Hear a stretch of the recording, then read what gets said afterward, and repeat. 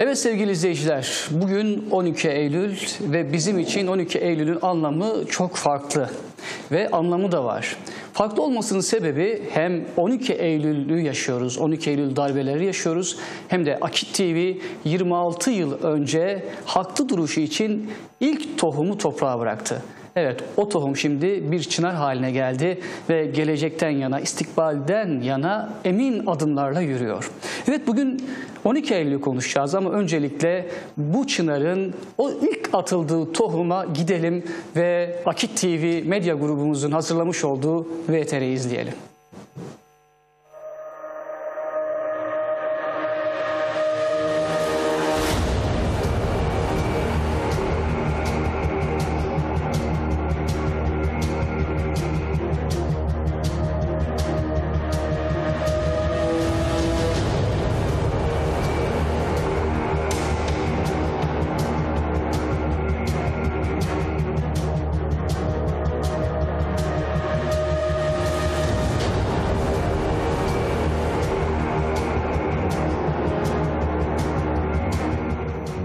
Bir çiçekle başlamazdı ama bir çiçek baharın habercisi olabilirdi.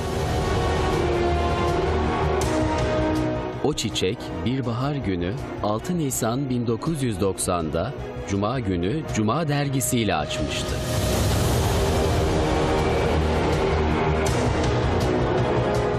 Küçük bir alanda kısıtlı imkanlarla haftada bir okurlara ulaşmaya başlamıştı. Üç yıl geçti. Teveccüh beklenenin üzerinde gerçekleşti. Bu talep Akit Medya Grubu Yönetim Kurulu Başkanı Mustafa Karahasanoğlu'na yeni bir gazete ihtiyacını hissettirdi. Çok geçmedi. Bir nalbur dükkanında alınan kararla 12 Eylül 1993 tarihinde Beklenen Vakit gazetesi yayın hayatına başladı. Dürüst gazete sloganıyla yola çıkan Beklenen Vakit, gerçekten de beklenen, aranan yayın organı olmuştu. Cesur duruşu, ilkeli tavrıyla yıllardır hor görülen, ötelenen Müslüman ve mazlumların sesi oldu.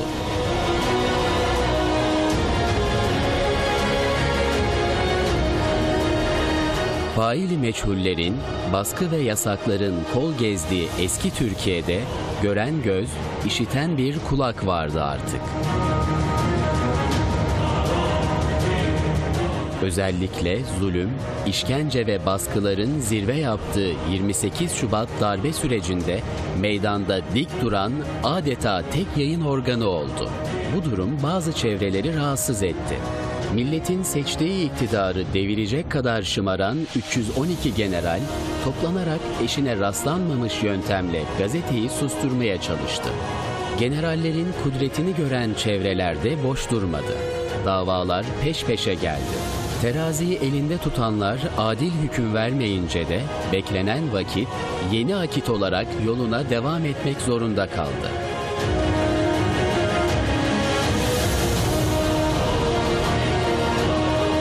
Davalarla susturulamayınca Yeni Akit gazetesinin merkez binası Kalaşnikovlarla tarandı, bombalar atıldı. Terör örgütünün üssü basılır gibi iki panzer, keskin nişancılar ve 400 polisle gazete binası basıldı. Ancak bunlar da Yeni Akit'i yıldıramadı. Doğru yolda, haklı yolda tavizsiz yürüdü. Akit Medya Grubu 2015'te kurulan Akit TV ile daha da güçlendi.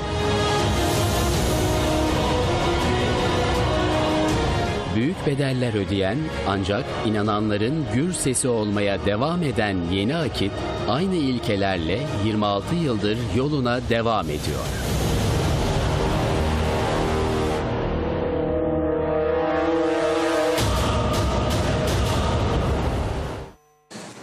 Evet efendim işte o tohumun bugünlere nasıl geldiğini hep birlikte izledik. Şimdi bugünümüz 12 Eylül darbesi dedik ve yanımda konuklarımız var. Ee, Mustafa Yıldız, aktivist kendisi ee, ve avukat İbrahim Yıldız. Kendisi Saadet Partisi İl Başkan Yardımcısı. Efendim hoş geldiniz. Hoş bulduk. Siz de hoş geldiniz Hoş İbrahim bulduk. Bey. Teşekkür ederim. Yani. Şimdi 12 Eylül deyince e, her iki tarafta hem sol hem sağ bir mezalimin aslında perde arkasındaki figüranlarıydı. perdenin önünde farklı, perdenin arkasında farklı icraatler vardı. Şimdi 12 Eylül'ü değerlendireceğiz birazdan. Ama ilk öncelikle e, sevgili izleyenlerimize Genç Görüş'ten de bahsetmek istiyorum. Genç Görüş bugün 12 Eylül'de startını verdi. Bugün bizim için anlamlı demiştik. Birincisi 12 Eylül darbesiyle alakalı ki bugün konumuz. İkincisi Akit Medya grubumuzun 26. yıl dönümü ve yine Genç Görüş'ün ilk günü olarak bizim tarihimizde güzel bir şekilde sayfalarında e, o satır aralarında yer alacak inşallah. Ama tabii ilk öncelikle biz e, bir 12 Eylül'e gidelim. 12 Eylül nasıl olmuş? Perde arkasındaki olayları VTR'imizden bir izleyelim. Sonra isterseniz üzerine e, konuşalım.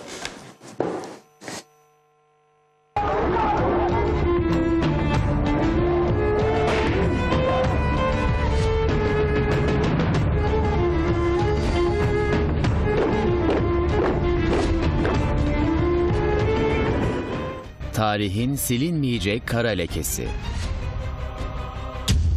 12 Eylül darbesi.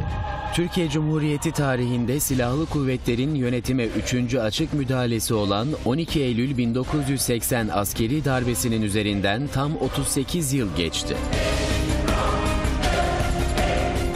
Cuma günü sabaha karşı dönemin TRT spikeri radyodan emir komuta zinciri altında gerçekleşen darbe bildirisini okudu. Yüce Türk milleti. Büyük Atatürk'ün bize emanet ettiği, ülkesi ve milletiyle bir bütün olan Türkiye Cumhuriyeti Devleti, son yıllarda izlediğiniz gibi dış ve iç düşmanların tahrikiyle Cuntacı Kenan Evren, Türk demokrasisine darbe yapıldığının en resmi açıklaması ve gerekçesi ise dönemin Genelkurmay Başkanı Orgeneral Kenan Evren tarafından duyuruldu.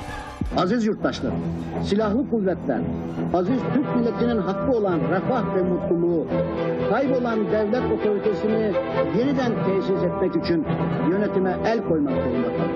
Peki 12 Eylül darbesi öncesi Türkiye hangi çarpıcı olaylara tanıklık etti? Darbeye götüren kanlı süreç. 1974 Kıbrıs Barış Harekatı sonrası Türkiye, ABD ve uzantılarının şeddeli ekonomik ambargolarına maruz kaldı. Bozulan ekonomi ve fitili ateşlenen ideolojik çekişmeler sonucu toplumsal olaylar patlak verdi. 1 Mayıs 1977'de İstanbul Taksim Meydanı'nda düzenlenen İşçi Bayramı kutlamalarında kalabalığa açılan ateşte 33 kişi can verdi. Olayların hemen ardından dönemin Başbakanı Süleyman Demirel istifa etti. Milliyetçi cephe hükümeti sona erdi. Aynı yılın 29 Mayıs'ında İzmir Havaalanı'nda Cumhuriyet Halk Partisi Genel Başkanı Bülent Ecevit'e suikast girişimi yapıldı. Kaos yılları 1978 yılında sağ-sol çatışmaları ve şiddet olayları zirve noktaya ulaştı. O yılın sadece Ocak ayında 30'dan fazla kişi öldü. Aynı yılın Mart ayında İstanbul Üniversitesi'nde bir anda olaylar patlak verdi, 7 öğrenci hayatını kaybetti. 47'si ise yaralandı. Adalet Partisi üyesi Malatya Belediye Başkanı Hamit Fendoğlu, kendisine gönderilen bir bombalı paketi açarken gelini ve iki torunuyla birlikte öldü. Malatya'da büyük olaylar yaşandı. 4 Ekim 1978'de MHP İstanbul İl Başkanı Recep Haşatlı, oğluyla birlikte evinde uğradığı silahlı saldırı sonucu öldürüldü. Cinayeti Marksist-Leninist Silahlı Propaganda Birliği örgütü üstlendi. Bu olaydan 5 gün sonra Ankara'da Bahçelievler semtinde 7 Türkiye İşçi Partisi üyesi öğrenci evlerinde öldürüldü. 20 Ekim'de İstanbul Teknik Üniversitesi Elektrik Fakültesi Dekanı Bedri Karapakioğlu İstanbul'da uğradığı silahlı saldırı sonucunda yaşamını yitirdi. 1978 yılının Aralık ayında Kahramanmaraş'ta Çiçek Sineması'na bomba atıldı. Bu olaylarla birlikte kent genelinde sağ-sol çatışmaları arttı. Bir hafta süren çatışmalarda yüzün üzerinde vatandaş can verdi. Sıkı yönetimin ilan edildiği olaylarda 200'ün üzerinde ev yakıldı, iş yerleri tahrip edildi. 1979 yılının Şubat ayında gazeteci Abdi İpekçi, milliyetçi gazeteci yazar eski Adalet Partisi milletvekili İlhan Egemen Darendelioğlu ve 27 Mayıs 1980'de MHP'li eski bakanlardan Gün Sazak suikast sonucu öldürüldü. Kahramanmaraş'ta yaşanan Alevi-Sünni çatışmasına benzer olayların tekrarı Çorum'da yaşandı. Olaylarda resmi kayıtlara göre 57 kişi hayatını kaybetti. Bu kaos döneminde eski başbakanlardan Nihat Erim İstanbul Dragos'ta suikast sonucu katledildi. 6 Eylül 1980'de MSP Genel Başkanı Necmettin Erbakan, İsrail'in Kudüs'ü başkent ilan etmesini protesto etmek amacıyla Konya'da miting düzenledi. Mitingde söylenen sözler cuntacılar tarafından şeriat amaçlı bir kalkışma girişimi olarak değerlendirildi. Ülkede kaos çıkaran ABD, ordu içindeki uzantılarıyla kendinin tertiplediği bu olayları bahane ederek darbe talimatı verdi. 12 Eylül 1980'de ordu ülkenin yönetimine el koydu. Aziz yurttaşlarım, silahlı kuvvetler, aziz Türk milletinin hakkı olan refah ve mutluluğu, kaybolan devlet otoritesini yeniden tesis etmek için yönetime el koymak zorunda. Darbenin ardından 650 bin kişi gözaltına alındı. 1 milyon 683 bin kişi fişlendi. Açılan 210 bin davada 230 bin kişi yargılandı. 7 bin kişi için idam cezası istendi. 517 kişiye idam cezası verildi. 50 kişinin cezası infaz edildi. 98.404 kişi örgüt üyesi olmak suçundan yargılandı. 30 bin kişi sakıncalı olduğu için işten atıldı. 14 bin kişi yurttaşlıktan çıkarıldı. 30 bin kişi siyasi mülteci olarak yurt dışına gitti. 171 kişinin gözaltında işkenceden öldüğü belgelendi. 854 öğretmen, üniversitede görevli 120 öğretim üyesi ve 47 hakimin işine son verildi. 31 gazeteci cezaevine girdi. 300 gazeteci saldırıya uğradı. 3 gazeteci silahlı saldırıda öldürüldü. Cezaevlerinde toplam 299 kişi yaşamını yitirdi. 14 kişi açlık grevinde öldü. Siyasilerin vekillikleri düşürülerek sürgüne gönderildi. PKK ve FETÖ'nün tohumları atıldı. 12 Eylül darbesinin üst haklı ABD, Türkiye'nin geleceğini de kendisi şekillendirdi. Cezaevlerindeki akıl almaz işkencelerle birlikte toplumun her kesimine yönelik zulüm, devletle olan duygusal bağı kopardı. Doğu ve Güneydoğu'da küstürülen halkın çocukları türlü oyunlarla dağlara çekildi. Böylece ABD taşeronu PKK terör örgütünün temelleri atılmış oldu. Amerikancı Gladio'nun seçkin elemanları devletin en kilit noktalarına getirildi. İdealizmi ezen 12 Eylül ile birlikte farklı maskelere bürünen bu ajanların etkisiyle FETÖ'nün önü açıldı.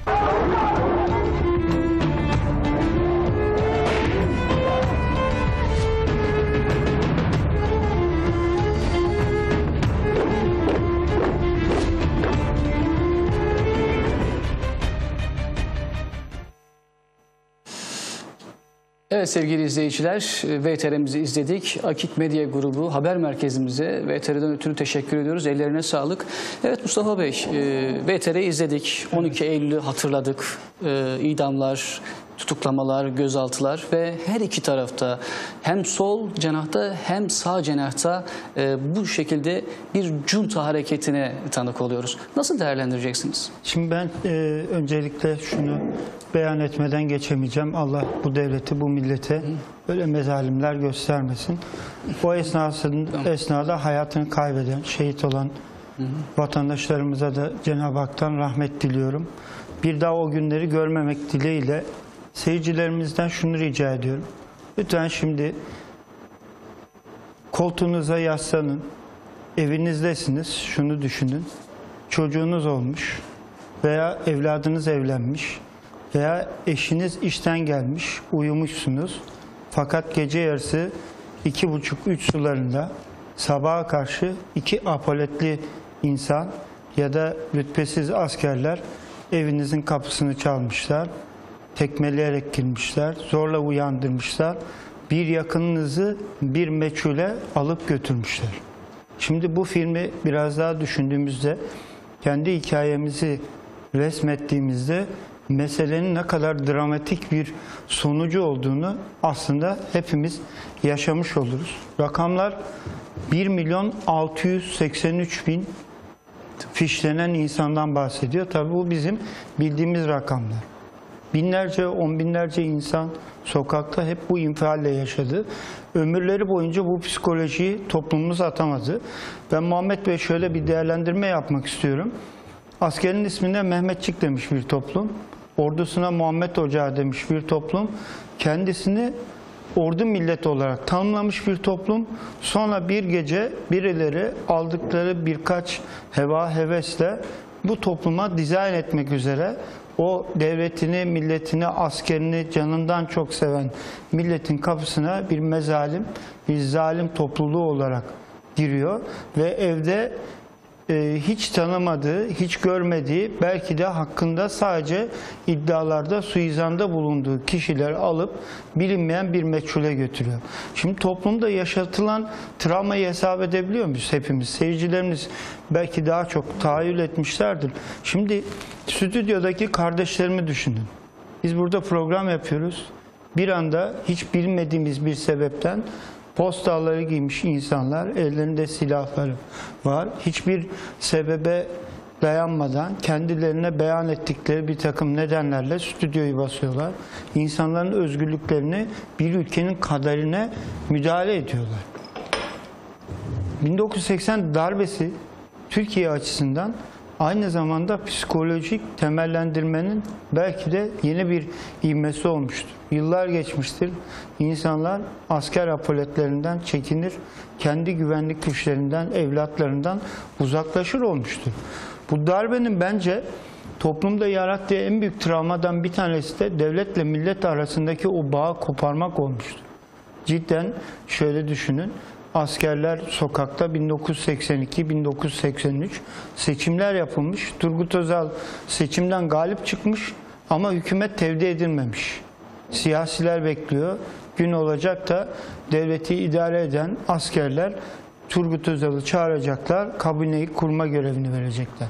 Şimdi bu topluma böyle bir millete askerini, devletini, ordusunu çok seven, sahiplenen, kendisini asker millet olarak tanımlayan, asırlar boyunca böyle bir medeniyete sahip olmuş bu topluma yapılabilecek en büyük ihanetlerden bir tanesi. Evet. Bir başka ihanette şöyle bir şey tahayyül edilmesi lazım. Türkiye jeopolitik durumu çok yüksek olan bir ülke stratejik açıdan. Türkiye'nin kader aksanının değişmesi demek kendisiyle birlikte domino etkisi yaratacak kardeşlerinin kader aksanının değişmesi demek. Türkiye aynı zamanda bu bölgenin can simidi, sigortası. Belki de Türkiye üzerinden planlama yapan insanlar sadece Türkiye, Türkiye kadar değildir diyerek belki bu planlamaları yapmışlardır. Bir e, darbeci general şunu söylemişti 28 Şubat'tan sonra. Bin yıl sürecek demişti. Hani elhamdülillah bugün 28 Şubat'ın çok çok ötesinde demokratik teamülleri gittikçe içselleştiren bir milletle, bir devlet geleneğiyle şu an dimdik ayaktayız. Bütün saldırılara rağmen Türkiye müthiş bir mukavemet ortaya koyuyor, güç ortaya koyuyor. Hele ki 15 Temmuz'da milletimizin gösterdiği o takdire şayan kahramanlık bunun en büyük örneği. Darbeler pek çok insanı mazlumlar ordusunun yeni neferleri olarak inşa ediyor. Bazılarını kahraman olarak inşa ediyor. Ama bizim milletimiz her zaman her darbeden sonra devletine, kendi özgürlüğüne, kendi vatanına sahip çıkmayı bilmiş aziz bir millet. Ben ekonomik taraflarının da çok daha farklı olduğunu biliyorum. Şimdi yanımızda kitaplar da var. Birazdan siz onları tanıtacaksınız. Değerli ağabeyimiz İbrahim abi de konulara belki başka mevzudan temasta bulunacak. Şimdi İbrahim Bey'e geçeceğiz Ee, ama öncesinde e, tabii o günün bir aktörü vardı Kenan Evren. Ee, ve o gün çok heyecanlıydı. Kitaplarda bu şekilde bahsediliyor. Ee, bu heyecanını gizleyemiyordu ve Emir Subayı'na diyor ki e, gece 12 gibi beni 3'te kaldırın. Ama e, saat 2 gibi e, Emir Subayı onu istirahat ederken kaldırıyor. Diyor ki Amerikalılar geldi ve bir mesajları var. E, onu bildiriyor. Ve isterseniz onu kendi ağzından dinleyelim ve yönetmenimizden hazırladığımız bir VTR'yi alalım. Onun üzerine de inşallah birazdan konuşalım. Devam edelim. Ankara'daki Zırhlı Tümen'den bir tank taburu Mamak'ta Amerikalıların bulunduğu yeri seçmişler. Oraya gelmiş. saat 2 miydi, 3 müydü, neydi? Efendim. Amerikalı telefon etmiş. Demiş ki bir tank tabur geldi buraya. Niçin geldi? Bana geldiler soruyorlar. E zaten bir saat, iki saat kaldı. Söyleyin dedim yani. Müdahale edeceğiz. Evet İbrahim Bey, e, VTR'mizi izledik. Saat 2, bir Amerikan subayı geliyor. Kenan Evren'in emir subayına durumu söylüyor ve o da diyor ki hadi söyleyin darbe yaptığımız diyor. Nasıl değerlendiriyorsunuz? Şimdi darbeler e, sadece ülkenin sınırları içerisinde yaşayan, işte idari mekanizmada olan gerek sivil, gerek asker, gerek işte farklı bürokratik e, kesimlerde olan insanların e, eliyle olmuyor. Bunların e, dışarıda partner olarak değerlendirdiği, e, ortak hareket ettiği, gücünden destek aldığı uluslararası küresel egemenlerle beraber yürüyor. E, dolayısıyla esasında e, bir kurgunun ürünü de olabilir.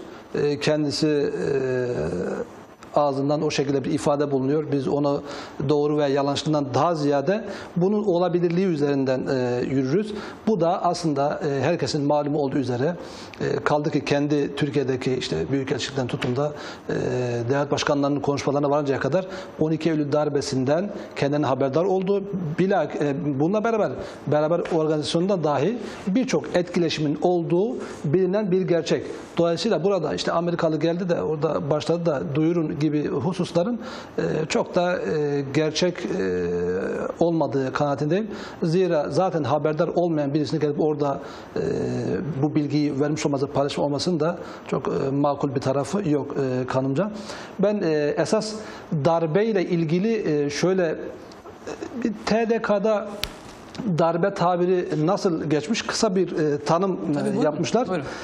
Türk Dil Kurumu diyor ki darbe, vuruş, çarpış, bir ülkede baskı kurarak, zor kullanarak hükümeti istifa ettirme, rejimi değiştirecek biçimde yönetimi devirme işi, kötü duruma düşüren, sarsan olay, sarsıntı, sars- sarsan olay. Şimdi ilk anlamda e, kavrama baktığınızda zihnimizde hiç olumlu bir intiba oluşmuyor. Doğru mu? Direkt olumsuz bir e, şey var. Zor kullanma var. E, usulün dışında bir güç kullanma var. Sarsan bir olay var. E, sarsıcı olmasını da e, darbe sonrası izlenen e, süreç, yaşanan e, olaylar gerek iktisaden, gerek sosyal hayatta, gerek bürokraside daha biraz sonra belki tamamına geleceğiz, adım adım geleceğiz. Dolayısıyla bir kere kafadan meşruiyetten yoksun bir olay. Bunu bir kere kabul edelim. İkincisi tarihi olayları değerlendirirken gerçekleştiği tarih yani kronolojik salt bir tarih belirleyerek bunu değerlendirmek mümkün değil. Bir tarihi olayı öncesiyle değerlendirerek o güne gelinceye kadar ne tür şeyler yaşanmış? Belki 5 yıl, belki 10 yıl, belki 20 yıl, belki 30 yıl öncesiyle beraber değerlendirdiğimiz takdirde sağlıklı bir takım sonuçlara varıyoruz. Şimdi 12 Eylül darbesi, öncesinde 60 darbesi, işte sonrasında 28 Şubat süreci. Aslında e, 12 Eylül darbesinden önce 71 muhtırası, daha sonra e, bir takım e, generallerin kalkışmaları, Talat Aydemir süreci. e, olayı vesaire. Bir sıkıntı var veya bir sıkıntı oluşturuluyor. Suni olan bir şey gerçekmiş vehmedilmek, vehmedilmek suretiyle toplum bir sıkıntılı, bir kaos, şiddet sarmalına sokuluyor. Bu acaba gerçekten toplumun kendiliğinden doğal bir refleks olarak mı gösterdiği bir eylemler zinciri yoksa az önce konuşmada ve sorunuzda belirtmiş olduğunuz ABD'nin veya bununla bağlı küresel egemenlerin etki ettiği burada e, nüfuz alanlarını genişlettiği bir takım kitleler, e, gruplar üzerinden bu işi e, dinamitleyip e, başlattığı hususu çok ciddi bir mesele. Biz hep biz biliyoruz ki e, Türkiye'de yaşanan darbelerin hiçbirisi e, Türkiye'nin dışından bağımsız olarak yapılmamış. Bu bilinen bir gerçek. O zaman 12 Eylül'ü de diğer darbeleri de kendisinden önce zemin hazırlanan olayları aşama aşama değerlendirerek sağlıklı bir e, sonuca varabiliriz. Bu anlamda e, güç kavramı karşımıza çıkıyor. Tarihi e, çok eskilere dayanan, günümüze kadar gelen bütün kırılmalarda, büyük olaylarda gerek e, yani ülkeler bazında, bölgeler gerekse uluslararası küresel anlamda gücün çok etkin olduğunu görüyoruz. Bu yerine göre askeri güçtür, yerine göre medya gücüdür, yerine göre sermaye gücüdür. Ama bir şekilde o gücü elinde bulunduran kitleler, gruplar o gücün nüfuz alanlarını arttırmak, gücü tahkim etmek, ister ideolojik olsun, ister menfaat merkezli olsun, ister e, küresel entegrasyonla ilgili artık hangi gerekçeyle izah edilirse edilsin, bu gücün elde edilmesi ve bu kazanımın bir daha kaybedilmemek üzere e, sağlam bir şekilde yönetimiyle, kanunlarıyla bütün hayata şamil kılınması meselesi. O zaman gücün bu tür meselelerde tarihi belirleyici e, çok açık net başat bir unsur. Gücü en iyi e, yöneten, organize eden e, kitleler temelde askeri organizasyonlar. E bu Türk Silahlı Kuvvetleri de e, Türkiye'nin en köklü ki bakarsanız yani aslında devletlerin kuruluşu da asker kişiler üzerinden kuruluyor. Yani Cumhuriyet'in kuruluş tarihine bakın. Yani Cumhuriyet'i kuranlar kadro içerisinde ekseriyetle Zaten bizim paşalar. bizim cumhurbaşkanlarımızın Ve- ayrı ekseriyeti de asker kökenli. Turgut Özal merhuma kadar e, sadece herhalde şey var, Celal Bayar var sivil. Diğerlerinin tamamı asker kökenli, paşa kökenli. E, böyle olunca da şimdi Türkiye'de e, genç cumhuriyetin diyelim Osmanlı sonrası e, 10 yılda bir, 15 yılda bir e, gücü merkezde tutan, elde tutan e, aygıtın aracı kılınmak suretiyle, kullanılmak suretiyle bu tür darbelere e, başvurduğu e, görünüyor. Tabi buna dediğim gibi e, çok net olarak bilinen bir şey var. Her darbeden önce bir kaos ortamı oluşuyor. Kitlesel olaylar baş gösteriyor. Saldırılar, bir huzursuzluk, düzen ve intizamın e, elden çıktığı ve siyasi iradenin bu anlamda varlık gösteremediği siyasi istikrarsızlık var. E, ekonomik darboğaz var. Kamplaşma alabildiğine yürüyor. Kurulan e, koalisyon hükümetlerinde meşruiyet sorunu her defasında karşı cenah tarafından konuşuluyor ve bu alabildiğine yaygınlaştırılıyor. E böyle bir yaygın kaos ortamının konuşulduğu bir dönemde birilerinin de kurtarıcı olarak sahneye çıkması gerekiyor. İşte o kurtarıcı da o dönem açısından e, TSK olmuş e, ve 12 Eylül darbesi sonrasında da bugün belki e, yaşayan e, canlı şahitler açısından değerlendirildiğinde birçok boyutla e, kitaplara konu olabilecek, filmlere konu olabilecek bir sürü alan açılıyor. Kısaca ben girişi bu şekilde yapmış olayım. Acı sonuçlarını hala da toplum olarak yaşamış olmamıza rağmen ibret alınmamış olması, yeni yeni bir takım kalkışmalara yol açması dahi ve toplumun zihninde bir meşruiyet zemini gibi oturuyor olması aslında en acınası durum olarak e, göz önünde duruyor. Ben İbrahim Bey'in konuşmalarına bir parantez Tabii, buyurun. açmak istiyorum. Ee, İbrahim Bey yerli darbe yok dedi. Ben de katılıyorum. Yani Türkiye'de darbelerin hiçbiri iç dinamikten, iç dinamiklerden yapılmamıştır diye. Ee, bizim tarihi geleneğimize baktığımızda da asker kökenli bir millet izledik ya. Türkiye'de Anadolu coğrafyasında darbeler genellikle sefahat dönemlerinden hemen sonra olmuş. Bakıyoruz Osmanlı'da da askeri hareketlenmeler özellikle tahta karşı Lale devrinden hemen sonra olmuş. Tabi Kuleli vakasını sayabiliriz. Belki bunda Çırağan 1800 Sarayı vakasını sayabiliriz. 1876 vakasını sayabiliriz. Bununla ilgili bizim devlet adamlarımız da tedbirler almışlar. Keza 3. Selim yanlış hatırlamıyorsam 2. Mahmut Olabilir. e, Yeniçeri'yi dizayn etmek adına bu askeriye içerisindeki darbeci e, egemenleri dizayn etmek adına bir takım hamleler yapmış. Ne acıdır ki bu hamlelerde e, belli bir süre sonra ters hamle haline gelmiş. Yine 2. Mahmut'un e, revize ettiği Yeniçeri yerine kurduğu askeri Askeri sistemde Mahmut Bey, Muhammed Bey. 1876'da yine Osmanlı'da saltanata karşı bir darbe girişiminde bulunmuş. Demek ki Türkiye ve Türkiye'de yaşayan milletimiz şunu çok iyi bilmek zorunda. Türkiye her zaman jeopolitik, jeostratejik gücü itibariyle dışarıdan ve içeriden her türlü müdahalelere hazırlıklı olmak zorunda. Milletimiz tıpkı depremle yaşamayı öğrendiği gibi içeriden ve dışarıdan bu şoklara karşı dirençli olmayı öğrenmek durumunda diye bir parantez açayım dedim hocam. Evet şimdi e, izleyenlerimize e, kitapların içerisinde iki kapağın arasında o satırlarda gizli kalan bazı e, ayrıntıları da paylaşmak istiyorum. E, Pınar yayınlarından çıkan şöyle göstereyim. Cumhuriyetin Tarihi diye Celalettin Vatandaş'ın bir kitabı var. Şimdi burada e, Kenan Evren'in e, o duruşunu bir resmediyor. İsterseniz okuyalım izleyenlerimize de. 12 Eylül döneminde iktidar kadrosunun tepesindeki Kenan Evren önce darbe lideri sonra da Cumhurbaşkanı sıfatıyla topluma sıcak mesajlar verir.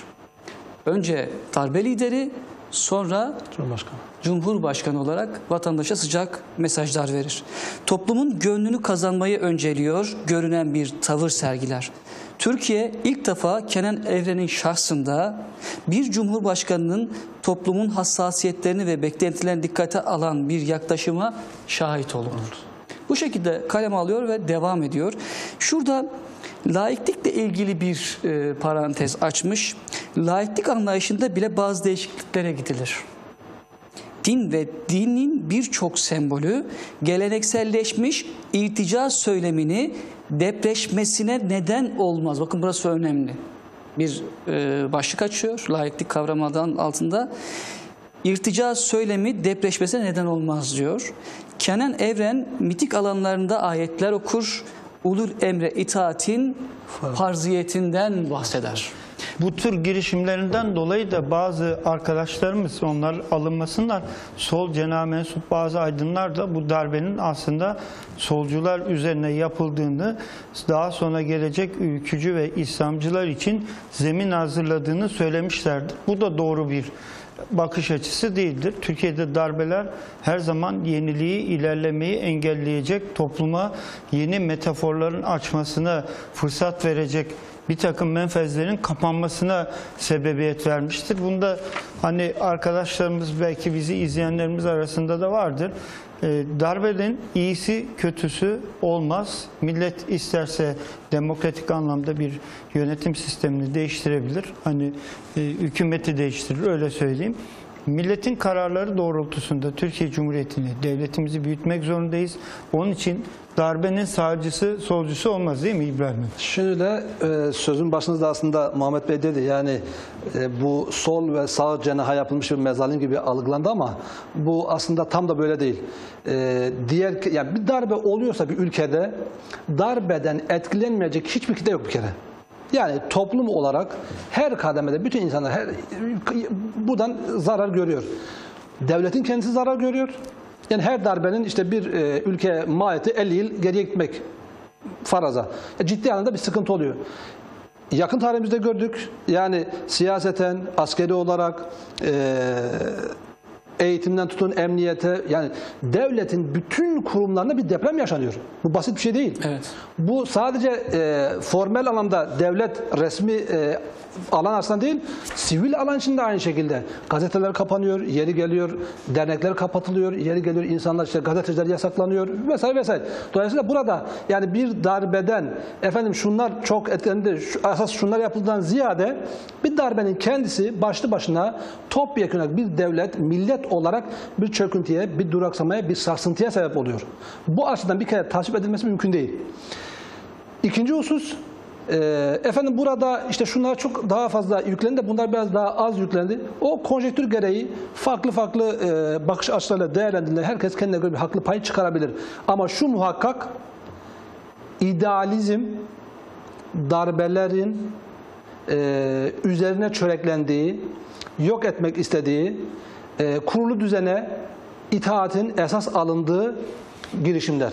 Yani ister 80 darbesini dile getirin. Yani o dönemde yükselen bir değer olarak yani şey olarak e, ideolojik olarak e, farklı gruplar işte milliyetçi gruplar var, İslamcı gruplar var, solcu e, gruplar var. Burada e, sol fraksiyonlar veya sol düşünce e, yükseliyor. Bir yükseliş trendine girmiş de ona baskı vurmuş. Öbür tarafta işte sağ milliyetçilik e, yükselmiş de ona vurmuş. Öbür tarafta 28 Şubat ve Milli Görüş Hareketi e, ciddi anlamda bir atılım e, sağlamış. Merhum Erbakan e, hocanın e, başbakanı döneminde. E, orada bir idealize hareket var. O darbeymiş. Yani de, mesela burada e, ketum bir tavır var. Ne bu? Bir idealizm e, hareketleniyor. Bir ivme kadar iyi veya kötü, doğru veya yanlış ona bir şey demiyoruz ama neticede gördüğümüz şu genç jenerasyon içerisinde bir ideal e, hareket başlıyor ve bunlar darbelerle beraber e, ezilip geçiliyor. Çok basit bir e, soru sorayım. Askeriye yani kurulu olan TSK o günün işte Genelkurmay Başkanı Kenan Evren ve e, hiyerarşik yapı içerisinde, e, içerisinde bütün kurum kime bağlı? E, siyasi iradeye bağlı. Şimdi siyasi iradeye bağlı olan bir kurum neden siyasi iradenin talimatları doğrusunda bu düzeni sağlamıyor?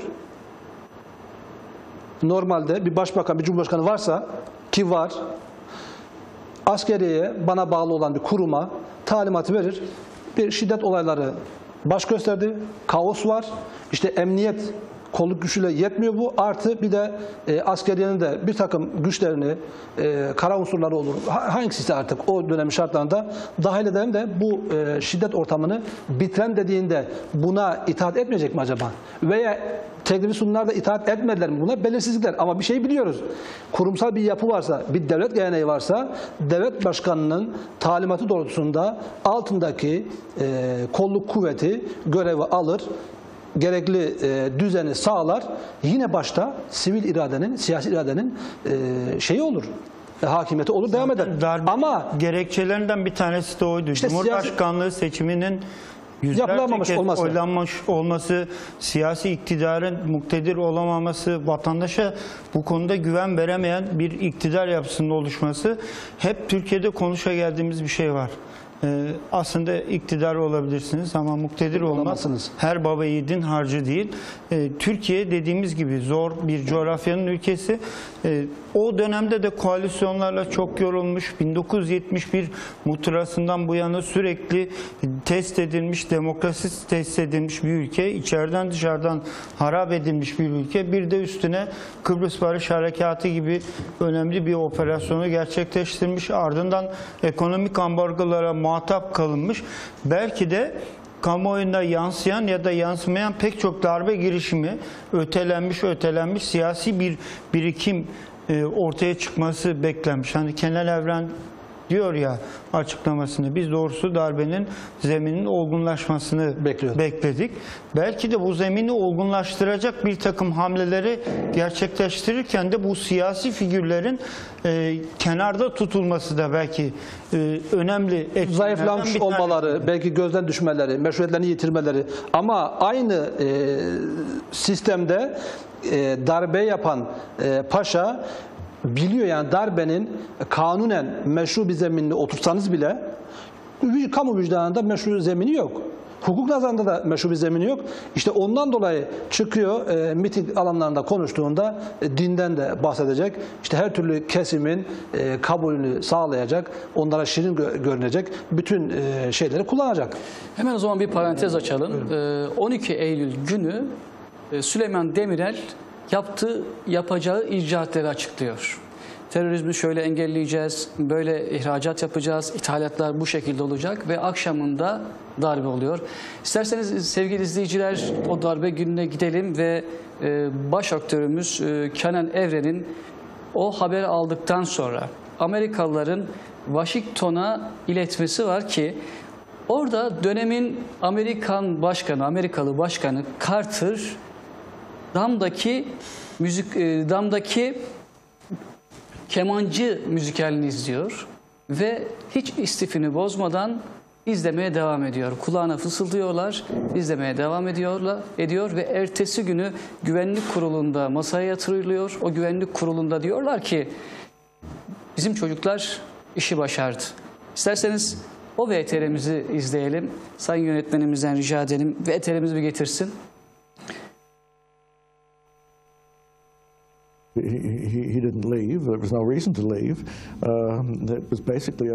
İzlememesi için bir uh, neden yoktu. uh, Aslında bu olumlu bir uh, gelişmeydi. Ertesi gün Washington'a bir rahatlama havası hakimdi. Ulusal Güvenlik Konseyi'nden bir meslek memurunun beni aradığını hatırlıyorum. Ee, Ankara'daki çocuklar yaptılar gibi bir şey söyledi. well, the boys in Ankara did it. Evet İbrahim Bey, Ankara'daki çocuklar. Sanki bizim komşunun çocukları der gibi bir e, izlenim ve tavır e, sergileniyor. Nasıl değerlendiriyoruz? Şimdi e, zannediyorum CIA'nin Ankara İstasyon Şefi olsa gerek. Bizim çocuklar başardı ifadesini kullanıyor. Başında da dedi ki yani neticede burada Türkiye'de bir darbe oluyorsa e, Türkiye'nin kuruluş aşamasında e, neticede yeni bir cumhuriyet kuruluyor. Bu cumhuriyetin kuruluşunda etki edecek, işte ortak e, çalışma yürütecek, bugünün tabiriyle stratejik müttefikimiz olan bir ülkeden bahsediyoruz. Dolayısıyla stratejik müttefikinizin e, böyle bir olaydan haberdar olmaması e, mümkün değil.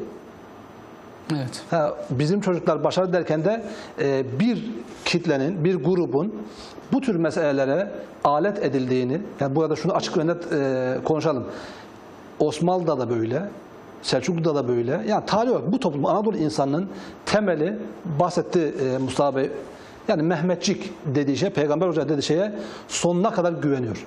Sonuna kadar hiçbir zaman da bu güvenini e, mahrum etmemiş. Yani şey yapmamış, esirgememiş. Yapılan bütün e, anketlerde de Türkiye'de her zaman asker olan güven en üst seviyelerde. Bu konuda bir şey yok, e, şüphe yok. Ve toplum bunu seviyor. Ama bir kitle, bir grup, işte buna cuntacı dersiniz, buna başka bir klik dersiniz. İster işte konjektür gereği ABD Batı bloğunda yer alsın veya konjektür gereği işte Asya grubuyla e, işbirliği yapsın veya başka bir sahikle hareket etsin.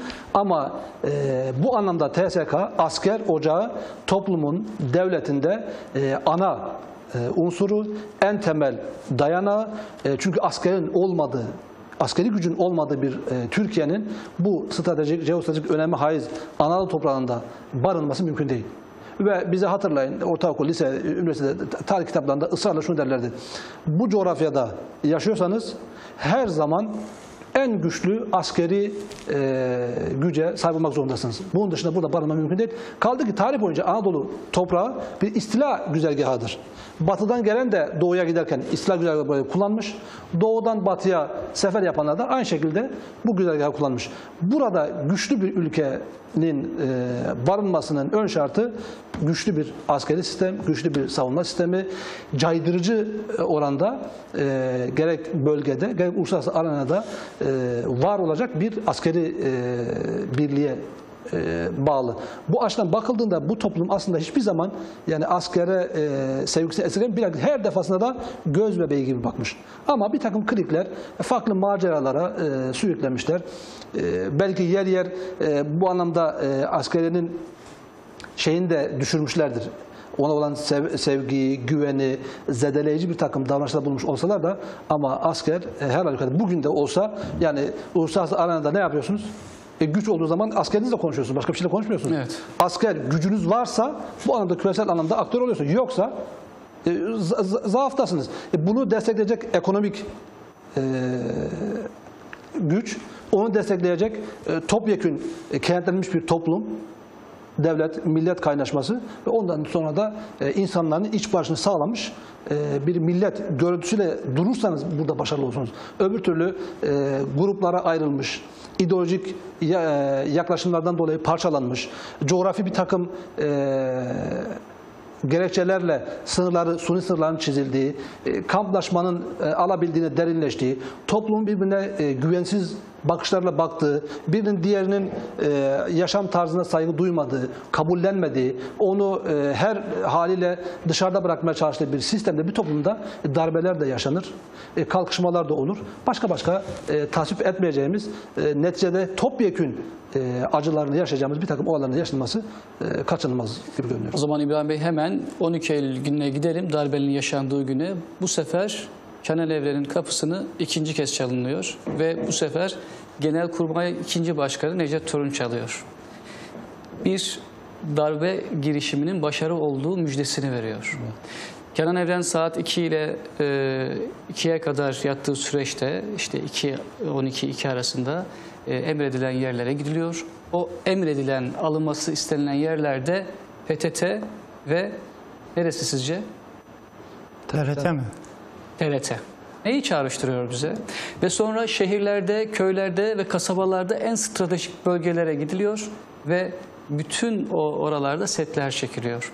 Ve buna da bir parola veriyorlar. Bir parolası var. Onunla anlaşılıyor. Ee, bir alt üstüne, üst altına bu parolayı veriyorlar. Bakalım o parola neymiş?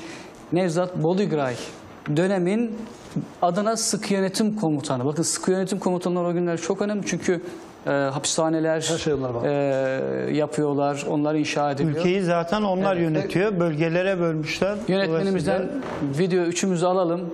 Bakalım ne demiş Necdet Bey, Nevzat Bey. komutan yardımcısı, genel arkadaşlar illerden bana e, bu bayrak harekat planında verilmiş olan parolayı bildirdiler. Yollar açık. Parola oydu. Hepsinden aldıktan sonra saat 3'te de ben telefonu açtım. O zaman Sayın Öztorun'du. Genelkurmay 2. Başkanı. Ona Ve efendim ardından e, bu harekat yapıldıktan sonra da 27 Mayıs'ta olmaması olmaması isteniyor. Yani yaka paça, tekme tokat getirilmemesi isteniyor siyasilerin ve siyasilerin ikna edilmesi gerekiyor o gün. O yüzden de siyasilerin kendi partilerinden en yakınları seçiliyor. Onlar önce ikna ediliyor ve sonra gönderiyor. Mesela Demirel için Nahit Menteşe'yi gönderiyorlar. çok üzücü. Tabii. Ecevit için kimi gönderiyorlar? Hemen onu da söyleyeyim size. Ee, İrfan Özaydınlı'yı gönderiyorlar. Ve ikna ediliyor. Sonra Türkiye 12 Eylül sabahı hangi müziklerle uyanıyor gülebiliyor musunuz? Hasan Sandık mı? Efendim? Kahramanlık türküleri. Kahramanlık türküleriyle uyanıyor ve sonrasında Kenan Evren'in bir e, konuşması olacak tabii birazdan onu da getireceğiz e, ekranlarımıza ama önemli olan şu aslında. Burada darbenin bir hedefi var ilk önce. İlk önce siyasilerin dert edilmesi, sindirilmesi ve halkın sokağa çıkartılmaması. Şimdi benim aklıma 15 Temmuz'u getiriyor. Şimdi 12 Eylül öncesi ve sonrasını konuşuyoruz. Aslında biz burada e, bütün partilerden temsilcileri çağırdık. E, bir arkadaşımız e, gelemedi, yolda kaldı sanırım. En son geliyorum dedi. E, CHP'de bir sonrakilerde e, göndereceğini söyledi e, temsilcilerini. Onlara da bu ekranlar açık. Şimdi tek taraflı bir yayın yapıyoruz anlayışı olsun istemiyorum. Sevgili izleyenlerimin affına sığınıyorum. Biz bunlarla ilgili gerekli müracaatlarımızı yaptık. Bir sonraki platformda genç görüş, gençlerimizin gözü olacak, gören gözü olacak, duyan kulağı olacak ve konuşan sesi olmaya devam edecek. Akit TV ekranları her görüşten gencimizin sesine açık. Şimdi nasıl değerlendiriyoruz? Muhammed? Bey şimdi 1960 darbesi çok trajik bir darbe. Türkiye 50 ile 60 arası çok astronomik büyüyor. Dışa açık bir ülke haline geliyor. Dış pazarlara açılan e, stratejik ortaklıklar kurabilen bazılarını eleştirdiğimiz ortaklıklar da olabilir. Ama Türkiye'nin müthiş bir büyüme hamlesi gerçekleştiği, giderek e, demokratikleştiği bir dönem hemen arkasından bir darbe geliyor ve toplumda gerçekten çok büyük izler, derin yaralar bırakmış hadiseler yaşıyoruz. Biz bu arada tabii başta başvekilimiz Adnan Menderes olmak üzere tüm bakanlarımızı ve o darbede şehit verdiğimiz bütün kahramanlarımızı rahmetle anıyoruz. 1960 darbesinden hemen sonra 1961'de ilk muhtırayı verme, daha doğrusu hükümeti kurmak üzere görevlendirilen kişilerin ilk yaptığı şey de o 10 yıl boyunca yakaladığımız bütün ekonomik kazanımları, siyasi kazanımları bertaraf edecek bütün hamleleri bir araya getirmek. Ben şunu düşünüyorum. 1971'de bir e, paşanın muhtırasıyla kitlenen siyasi gündemin aslında çok önce e, kitlenmek üzere bir planlama yapıldığını, her ne fırsat olduysa milletimizin ferasetiyle bu muhtıranın gerçekleşmediği, ikinci bir e, 28 Şubat'taki bir paşanın, darbecinin deyimiyle balans ayrayına fırsat verilmediğini düşünüyorum. 1971 muhtarası da çok ilginç. Harbiyelilerin Türkiye'de Harbiye Marşı'yla sokaklarda yürümeye çalıştığı, daha doğrusu bütün hepimizin hani Harbiye Marşı'nı sevenler vardır, sevmeyenler vardır ama bir antipatik durumun oluşturduğu bir nokta. 1974'te Türkiye kıt belaya girdiği bir barış harekatı var. Peşinde Taksim'de yaşanan katliamlar var. Çorum'da yaşanan katliamlar var. Ülkenin pek Pazarcı, çok yerinde Maraş. e, evet Maraş'ta yaşanan katliamlar var ve Türkiye sendikal örgütlerin yani bunu bir parantez için de söylemek istiyorum. Seyircilerimize hatırlatmak babında özellikle sendikal örgütlerin sahaya çıkın işte ne bileyim şunu eleştirin, bunu eleştirin, bir takım haklarınızı tekrar geri alacaksınız gibi söylemleriyle insanlar sokağa dökülüyorlar. Bunu destekleyen patronlar oluyor, ekonomik çevreler oluyor, para babaları oluyor ve süreç birdenbire Türkiye'nin güvensizlik noktasına doğru gidiyor. Siyasi kaymalar, siyasi otorite kaymaları, güven kaymaları, birlikte hareket edemeyen koalisyon üyeleri, birbiriyle sürekli pazarlaşan, sonra Güneş Motel hikayesi Türkiye'nin gündemine Mustafa Bey yerleşiyor. Güneş Motel'den devam edeceğiz. Genç Görüş, Gençliğin Sesi reklamlara giriyor. Reklamların hemen ardından 12 Eylül'ün öncesi ve sonrasıyla devam edeceğiz.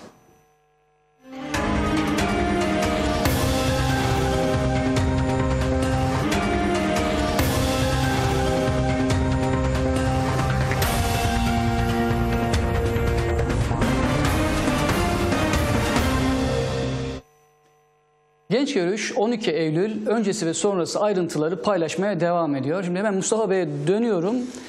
Mustafa Bey, 12 Eylül'den önce her gün 20-25 kişi öldürülüyor, katlediliyordu.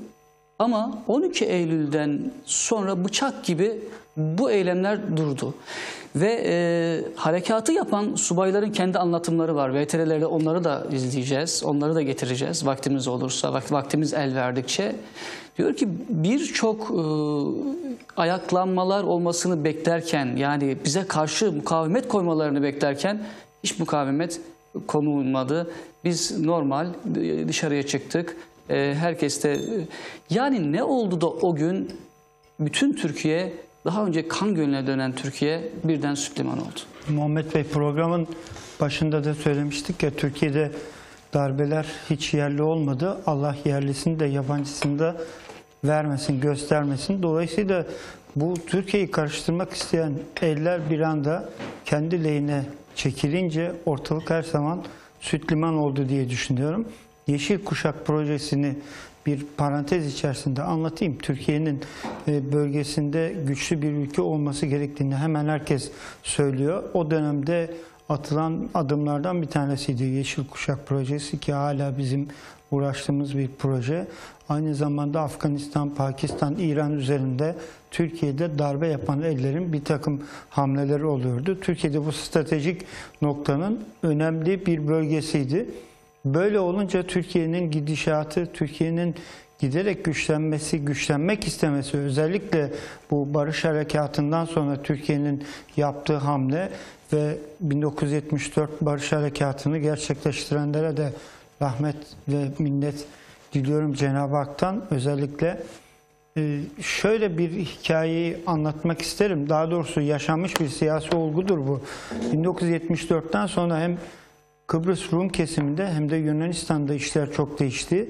Akdeniz'in suyu gerçekten çok ısındı. Hal böyle olunca e, hal böyle olunca Türkiye tabii rayından çıkmak üzere olan bir ülke gibi algılandı bence ve Türkiye'de bir balans ayarı yapmaya kalktılar. Zaten bunları yapanlar da dikkat edersiniz İbrahim Bey de takdir ederse e, bize hiçbir zaman darbe demiyorlar. Askeri müdahale ediyorlar. Sanki bu işin bir soft tarafı varmış gibi.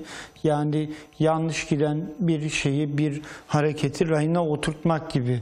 Hani bir balans ayarı yapmak gibi tercümeler kuruyorlar. Halbuki bu düpedüz Türkiye'nin gelişime dönük, ilerlemeye dönük mekanizmasını biçmek, yeni bir kuşağı alt etmekti. Bu artık kim olursa olsun. Ee, Ben şöyle değerlendiriyorum her zaman ünlü bir e, istihbaratçının dediği gibi hamleler kime yaradığıyla ölçülür. O hamle yapıldığında netice kimin lehine sonuç verecekse muhtemelen katil de o kişidir, yaptıran o kişidir diye değerlendiriyorum. Ben izleyicilerimizin bizim ne demek istediğimizi çok iyi anladığını düşünüyorum. Çünkü zaman kısıtlı. Birazdan VTR'de de pek çok şeyi anlatmış olacağız. Ayrıca darbeden hemen sonra Türkiye'nin bir standby anlaşmasına gitmesi, Dünya Bankası ile proje kredilerinin yürürlüğe alelacele sokulması, 3 yıl içerisinde Türkiye'nin bir takım ekonomik gelişmeleri takip etmesi, 24 Ocak kararları, Türkiye'nin yeni liberalizasyon kararları, dışa açılma politikaları bunlar çok ilginç. Hani 28 Şubat'tan hemen sonra gerçekleştiği kamuoyunda çok tartışılan bu şeker fabrikaları yasası değil mi? Şeker kanunu geçtiğimiz aylarda da Türkiye'de çok konuşulmuştu. Pek çok şey var. Hani anlatılmak istenen aslında biraz satır aralarını kurcalamak gerekiyor. Bizim programımız özür dileriz birkaç saatle sınırlı. Gerçi Akit TV'ye sağ olsun teşekkür ederiz. Ucu açık dedi biz sabaha kadar konuşabiliriz ama e, lafın çok olanı değil hikmetli olanı af buyurursanız makuldür. Ben pas atmakla yetineyim. Seyircilerimizden de özür dileyeyim. Şimdi o zaman e, şöyle devam edelim hemen. E, Bir şey söyleyeyim mi? Tabii, buyurun. Az önce Buyurun. e, gece uyudu işte beni 2'de uyandır, 3'te uyandır diyor ya. Şimdi ben düşünüyorum. Arada yani darbe yapacaksınız. En tepedesiniz. E, bu rahatlıkla uyuyabilir mi acaba? Çok tuhaf değil mi sizce? Şimdi onunla ilgili bir VTR daha gelecek. Çok heyecanlı o gün Kenan Evren. Ya bir maç bir maç izlerken daha insanlar e, dört gözle beklemiyor. Uyumuyor yani 12'ye kadar yeri geliyor belki onun e, şey perde arkasını izlemek için saatlerce sabahlara kadar veya bir filmi bitirmek için ya burada bir darbe yapıyorsunuz. Bir ülkenin belki bir bölgenin kaderiyle ilgili bir karar alıyorsunuz ve burada çok rahat işte beni saat 2'de 3'te uyandır diyebiliyorsunuz emir subayına. Yani bilmiyorum ben e, normalde o insanın sabaha kadar dik üstüne kalması lazım. Aynen Ki öyle. e, daha sonraki hatıratlarında ya halktan acaba tepki olacak mı? Bize fark edecekler mi? Te- e, karşılık verecek mi? Ne olacak? Ne bilecek? Başarılı olamazsak e, bir önceki e, örnekler gibi idama gider miyiz? Kaygısı, korkusu, telaşı içerisindeyken burada çok rahat uyuyor olmaz. O uyuyor olması sanki o kadar emin, o kadar mutlak bir e, şeyle gerçekleşen bir inanç var ki hiç sıkıntı yok uyuyabiliyor. Yani. Benim açımdan yani daha ilginç olanı işi güvenlik olan bir kamu görevlisinin o ortamda çok rahat uyuyor, olması ve bunu deşifre etmesi aslında memlekette kan gövdeyi götürürken hiçbir asker, hiçbir güvenlik görevlisi bu memlekete aşık hiçbir adamın uykuda olmaması lazım. Özellikle işi güvenlikten sorumlu olan bir kişinin. Çok tuhaf geldi bana da onun için paylaşmak istedim. Evet o zaman VTR'ler devam edelim. Benim aldığım satır başları da VTR'lerden aldığım satır başları. Şimdi Kenan Evren o gün çok heyecanlı ve bir konuşma yapıyor. Tabii halk darbe olmuş 12 Eylül'de e, merakla ne oldu, ne oldu bitti de askerler sokakta ve onun üzerine radyo e, TRT'den bir bildiri okunuyor. Yine hatırladığımız çok yakındaki bir bildirilere benziyor. E, yönetmen, e, sevgili yönetmenimizden video 4'ü de alalım. Bakalım Kenan Evren nasıl bir konuşma yapmış ve e, hangi ilacı aldıktan sonra o konuşma yapma, e, konuşmayı yapmaya gitmiş. televizyon karşısında e, tüm millete hitap edeceğim için biraz heyecanlıydım. Heyecanlıydım. Onun için bir Nobrium aldım. Bir Nobrium içtim. Öyle öyle gittim.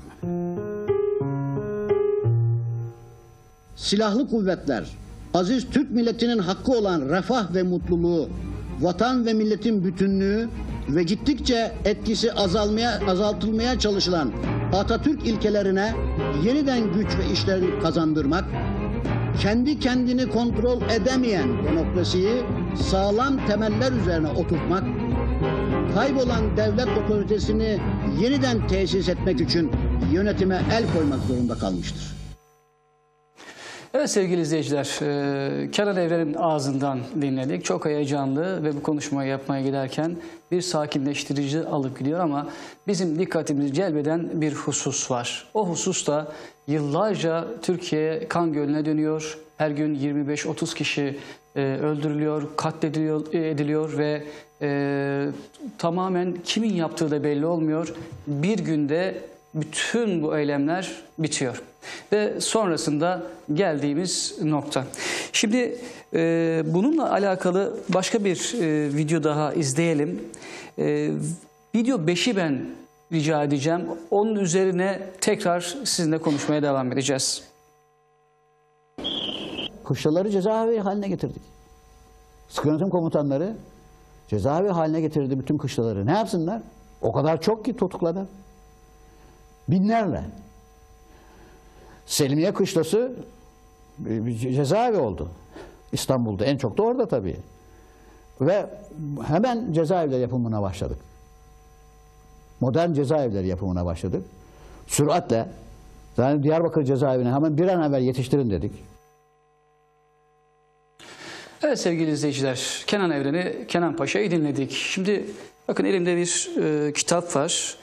Türkiye tarihi tarihinde bir sonbahar adlı kitap.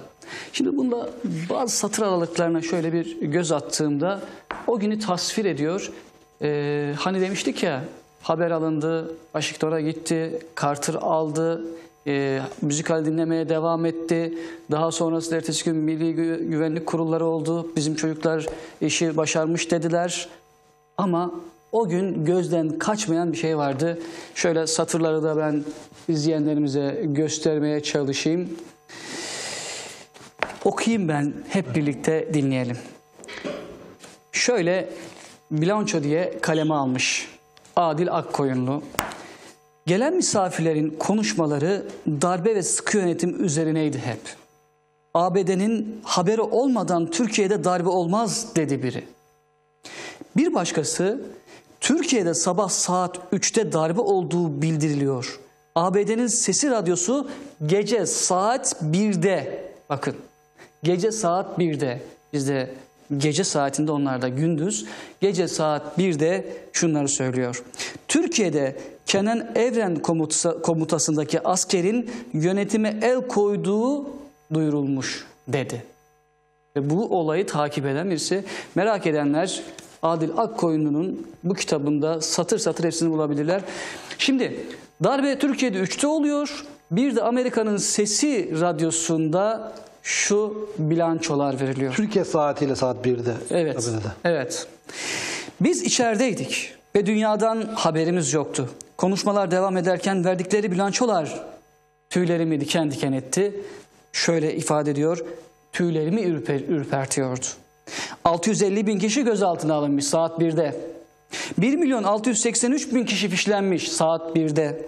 210 bin dava açılmış, 230 bin kişi yargılanmış saat 1'de. 7 bin kişi için idam cezası istenmiş, 517 kişi idam cezası verilmiş, idam cezası verilenlerin 50'si asılmış saat 1'de. Evet, İbrahim Bey nasıl değerlendireceksiniz? Kalem Tekrar şöyle ben göstermek istiyorum. Bu satırlar Adil Akkoyunlu'nun Türkiye'de tarihinde bir sonbahar adlı kitabından. Çok planlı işlemiş yani öngörüler e, bayağı tutuyor sonuçlarla e, kıyaslandığında. Zaten daha sonraki yargılamalarda da idam edilen sayı 50. E, tevafuk mu bu kadar mı e, şey olur bilemiyoruz. Yine yargılamalarda çok ciddi anlamda e, sayılar birbirine yakın.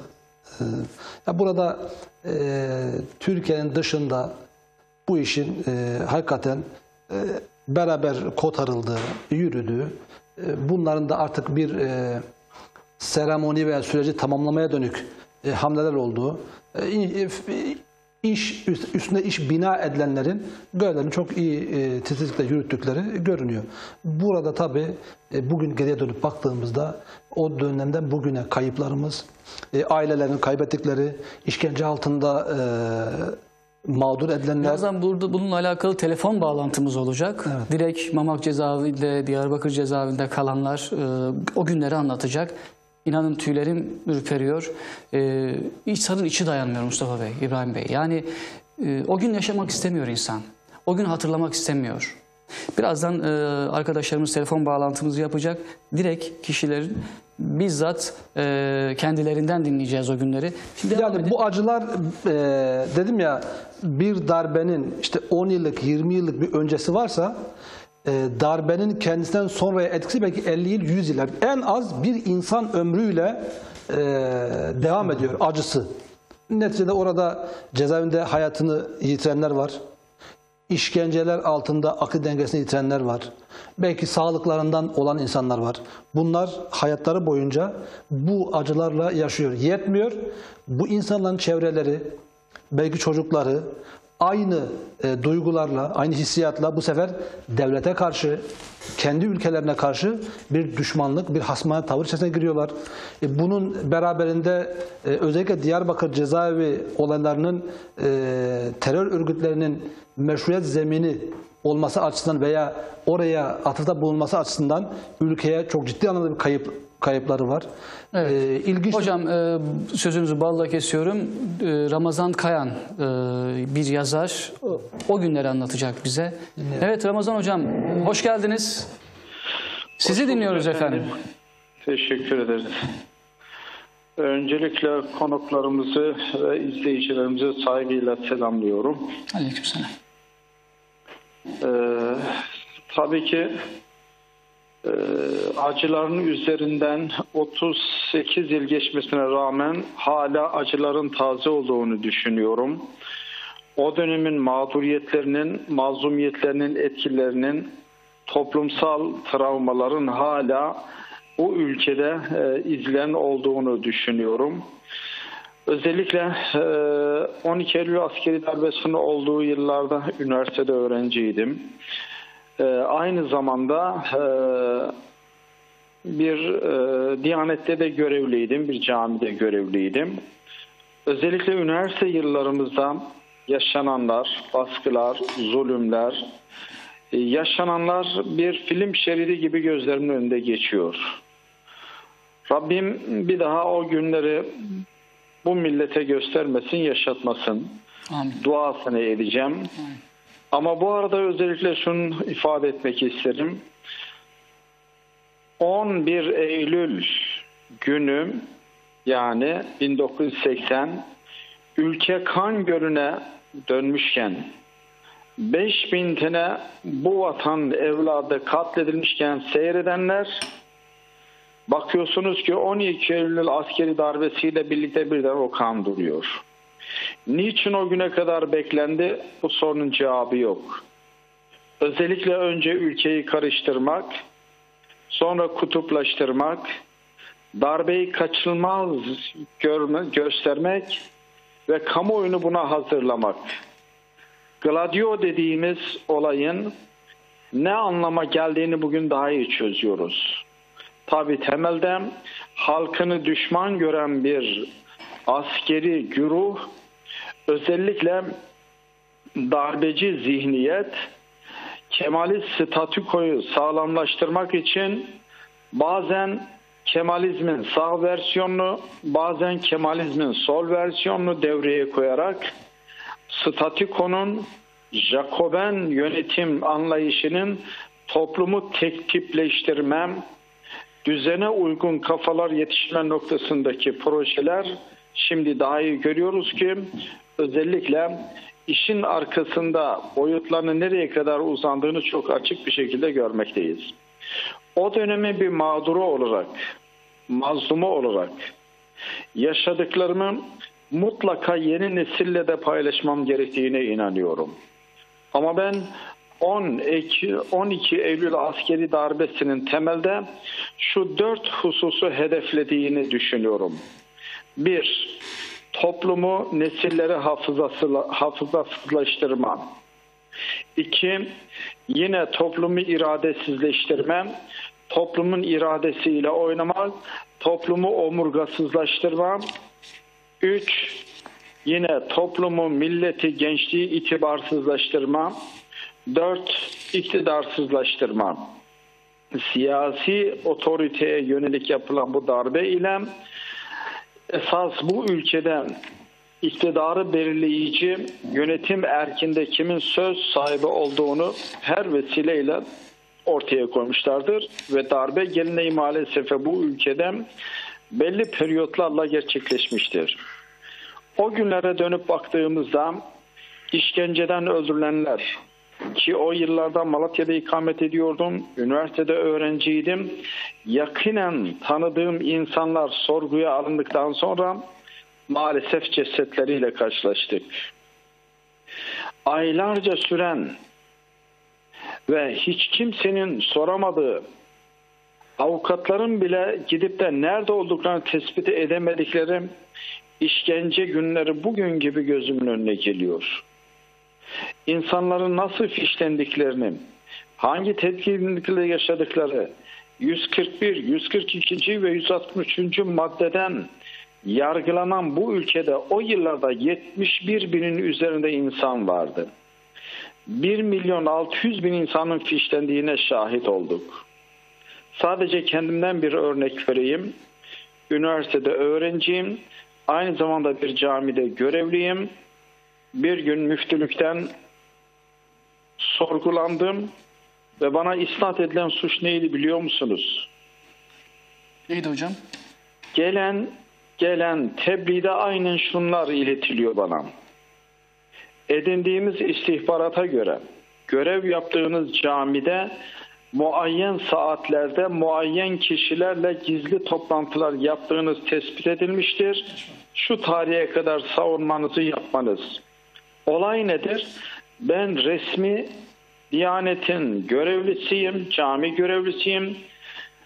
Öğrencilere Kur'an dersi vermişim ve verdiğim bu Kur'an dersi örgütsel faaliyet kapsamında istihbaratın takibine, sıkı yönetimin takibine takılıyor.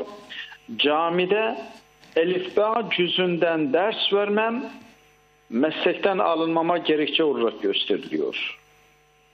Bir taraftan maaş veriliyor bana halka dinini öğreteceksin. Ama şu yaman çelişkiye bakınız ki görevli olduğunuz camide öğrencilere ders vermek o günün şartlarında sıkı yönetimde yargılanmak için gerekçe olarak karşınıza çıkabiliyordu. Ama şimdi üzerinden 38 yıl geçmiş Başakşehir'de oturuyorum. Mahallemizdeki camiye gidiyorum, sohbetlerimi yapıyorum ve hiçbir resmi sıfatım yok. Şunu demek istiyorum. Dünkü Türkiye, bugünkü Türkiye. Eski Türkiye ile yeni Türkiye arasındaki bu farkı da görmemiz lazım. Ve özellikle halka özgürlüğü çok gören, insan haklarını çok gören o cuntacı zihniyetin bu halka ödettiği bedeller asla unutulmaması lazım. Aliye İzzet Bego için Bosna'da yaşanan soykırımdan sonra kullandığı bir cümle var. Unutmayınız. Unutursanız soykırım tekrarlanır. Ben de diyorum ki darbeleri kesinlikle unutmamak lazım. Unutulan darbelerin tekrarlanacağını da asla hatırdan çıkarmamak lazım. Bu bilincin vermesi lazım. Olay, mesele sadece salt Kenan Evren olgusu değildir. Özellikle toplumsal hayat, toplumsal hayatı dönüştürme, siyasal sistemi Kemalizme göre, statikoya göre yeniden dizayn etme projesidir. Ve maalesef üzülerek şunu da eklemek isterim ki 1982'de ortaya çıkan anayasa, darba anayasası zaman zaman rötuşlar yapılsa da bir takım kısmi düzenlemeler yapılsa da hala 38 yıldır darbe ürünü olan bir anayasayla yönetilen bir ülkede bulunuyoruz. Özellikle iktidardan talebimiz mutlaka bu halkın inancına, değerlerine, kültürüne, köklerine, tarihine uygun bir anayasanın acilen ivedilikle hazırlanması lazım ve gerçekleşmesi lazım. Ve bunu da hemen izninizle eklemek isterim. Anayasanın bir takım şeyleri hala şu seviyeye gelinen bir Türkiye'de konuşulmaya açık değil. Tartışılmaya açık değil. Ve bir vatandaş olarak şunun altını çiziyorum. Artık bu ülkenin laik değil, bu halka layık bir anayasaya ihtiyacı var. Bunu özellikle ifade etmek isterim. Madem ki halkın iradesi önemlidir, halkın tercihi önemlidir. Halkın bu noktadaki tercihine saygı duymak lazım. Aksi takdirde bir yönüyle darbeler geleneği bitti gibi düşünsek de ama bu defa şundan endişe ediyorum. Doğrudan askerlerin yaptığı darbelerden ziyade askerleşen sivillerin yapacağı darbelerden endişe ediyorum. Evet hocam. Hocam e, çok teşekkür ediyoruz e, paylaşımlarınız için. E, Rabbim bir daha o günleri bize yaşatmasın Amin. diyoruz. Amin. Tekrar tekrar teşekkür ediyoruz. İyi akşamlar diliyoruz bilgi ve paylaşımlarınız için. Çok sağ olun. Kolaylıklar diliyorum. Sağ olun. Ramazan hocamın paylaşımları aslında çok yerinde oldu. Kendisine de çok teşekkür ediyoruz. Hem hatıratıyla bizi o günlere götürdü. Hüzün manzuması içerisinde dinledik. Ee, hep söyleniyor ya hani bu Türkiye'de yapılan müdahaleler şu kesime aitti, bu kesime aitti. Birebir canlı konuda Mustafa Bey, o gün e, neye dayandırılıyor e, bu? Sıkı yönetim, ikinci sıkı yönetim bildirisine dayandırılıyor ve e, o günkü şartlarda bir anarşi olduğu ve anarşinin giderilmesi gerektiği kılıfıyla e, hemen müdahale ediliyor. Ve tabii e, müdahale edildikten sonra e, işin rengi değişiyor. Tamamen olaylar bitiyor. Hiçbir kalkışma yok, hiçbir eylem yok. E, Bundan üç gün önce, bundan dört gün önce e, Türkiye sokakları Kan gölü gölü götürüyordu. şeklinde bir günde bıçak gibi nasıl kesiliyor? İnanın burada izleyenlerimizle paylaşmak istediğim en önemli konulardan bir tanesi bu. Acaba diye düşünüyor insan. Her şey her şey e, bununla e, sınırlı değil. Daha önceden bir planlama mı var? Bununla ilgili bir e, toplum e, projesi mi çalıştırılıyor ve o toplum e, e, mühendisliği, toplum projesi hayata mı geçiriliyor? Düşünmüyor değil insan. e, Kısa bir iki hususta değineyim. Buyurun. Şimdi darbelerin adı, şekli, yöntemi değişse de hepsinin ortak ortak olmazsa olmaz şartı darbelerden önce istisnasız büyük toplumsal olaylar ve katliamların olması. Evet. Bu tesadüf olamaz. Bir planın işlediğinin açık göstergesi bu. Evet. Şimdi Recep Bey'e attığımızda ama Recep Bey'i almadan önce bir e, anekdot paylaşmak istiyorum. Çorum'la ilgili bir hadise var. Sağ grup ve sol grup e, birbirine giriyorlar. Kavga, kan gölüne, gö- yine kan e, gölüne, kan deryasına dönmüş ortalık ama sağdan ve soldan e, iki lider ya diyor hayır bizim talimat vermemiz lazımdı. Ne oldu? Nasıl oldu? E, neden kavga ediliyor? Neden insanlar birbirini hunharca öldürüyor? Evet Re- Recep Bey Çorumlu. E, o günlerdeki o anlarını anlatacak bize. Evet e, Recep Bey hattımıza hoş geldiniz efendim.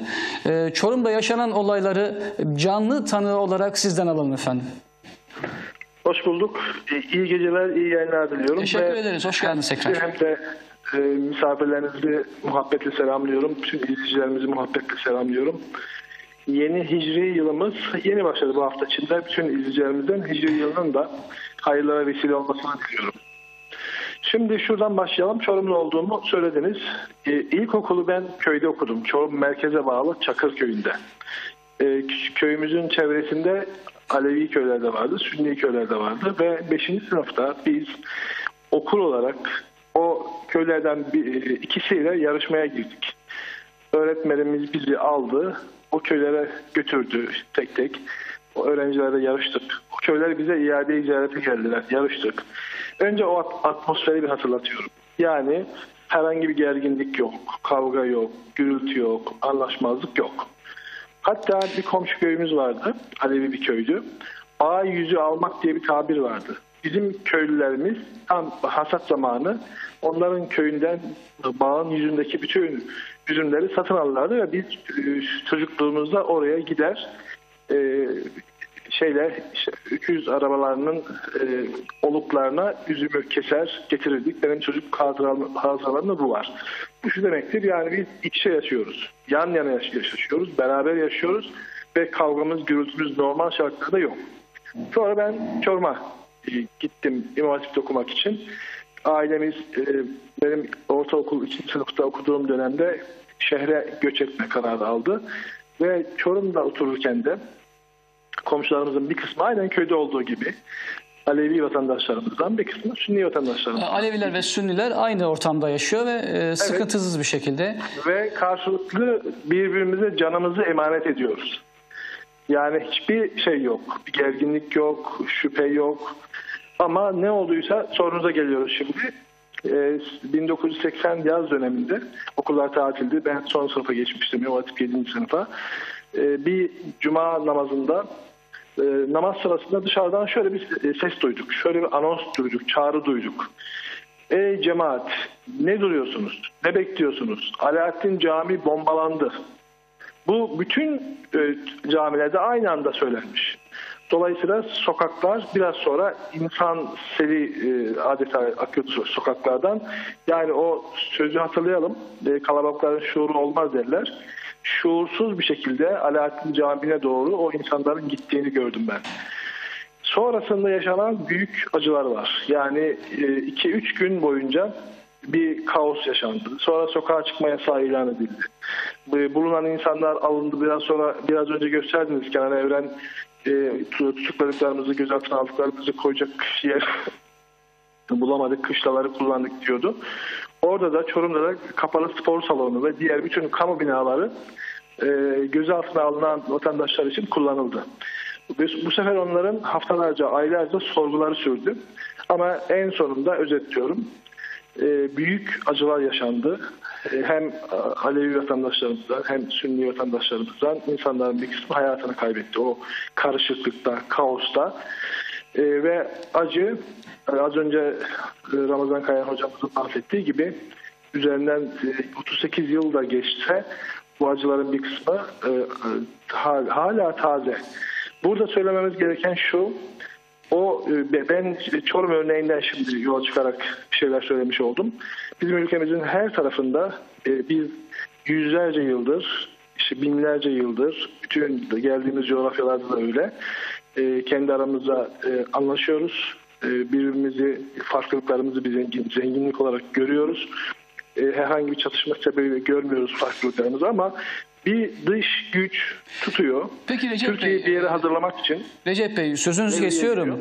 Ee, dış güç dediniz biraz önce. Neden dış güçler e, sizin anlattıklarınız bana e, farklı e, hamleleri, farklı e, operasyonları da çağrıştırdı işin açıkçası.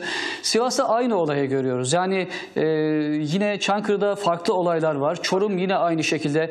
Neden buranın var. e, Kahramanmaraş örneği var aynen dediğiniz gibi. Neden e, Anadolu motifi kullanılıyor burada? A- Anadolu olmaktan mı kaynaklanıyor? E, sebebi nedir acaba? Şöyle aslında e, cevap 15 Temmuz'da hepimizin karşısına çıkarıldı. Bizim ülkemiz e, kendi haline bırakılmayacak kadar önemli bir coğrafyada ve bizim tarihimiz e, daha önce bizden e, zarar görmüş veya bir şeyleri bizim elimizde kaybetmiş e, insanların e, zihniyet sahiplerinin asla unutmayacakları kadar zengin bir tarihi geçmişimiz var. Öyleyse biz bütün farklılıklarımızı yok sayıp kenetleneceğiz 15 Temmuz gecesi olduğu gibi. E, o müdahaleleri ki o FETÖ e, örgütünün kimler tarafından şu an korunduğunu bütün dünya görüyor. Hep beraber izliyoruz. Kimlerin pasaportuyla dolaştıklarını Avrupa'da, dünyada görüyoruz.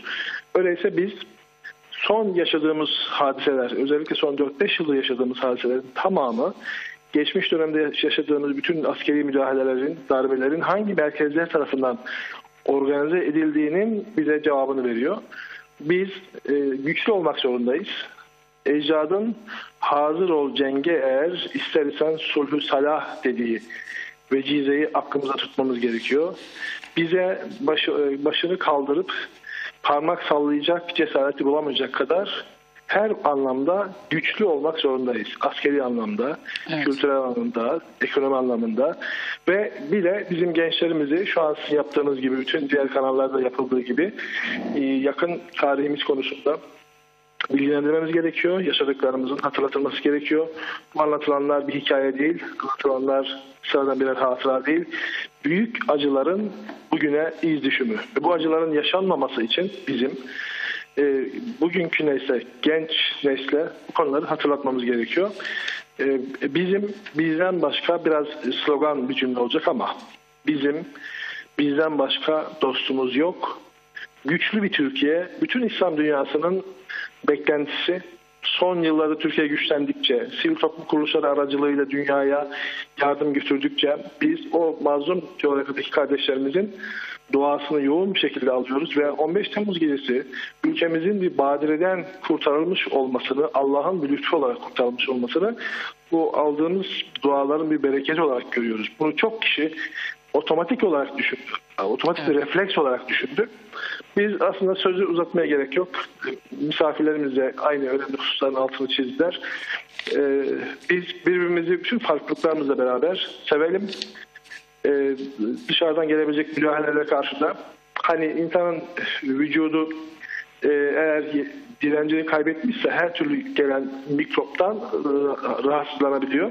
Benim sesimde de fark ediliyor. Birkaç gündür üzerinize afiyet. E, bir gribal- enfeksiyon yaşıyorum.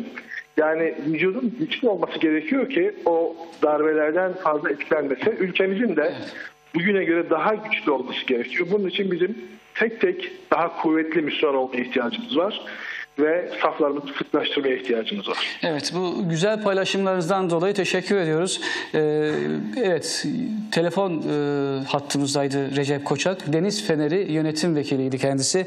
Ee, tekrar tekrar teşekkür ediyoruz. Muhammed Bey, Recep Bey bir şey söyledi. Hemen ben Tabii, araya buyurun. girmek istiyorum.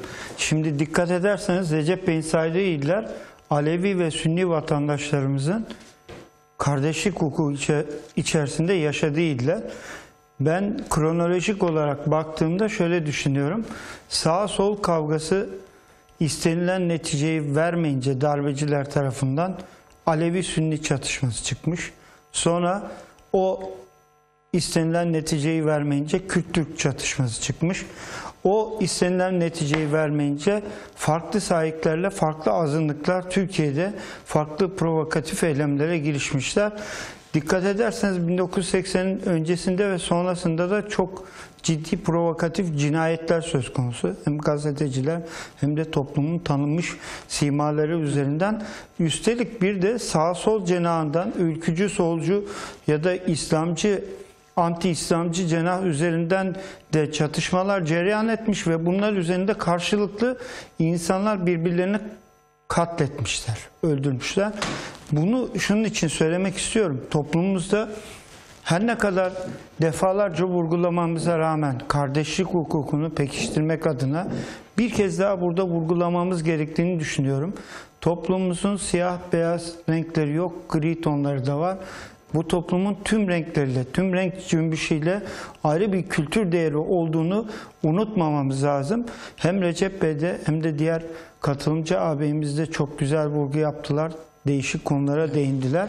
Biz bu konuda özellikle bu dönemin yaşayanları, gençleri, büyükleri, abileri, ablaları olarak toplumumuzun bu kenetlenme dokusuna daha çok temas etmeliyiz.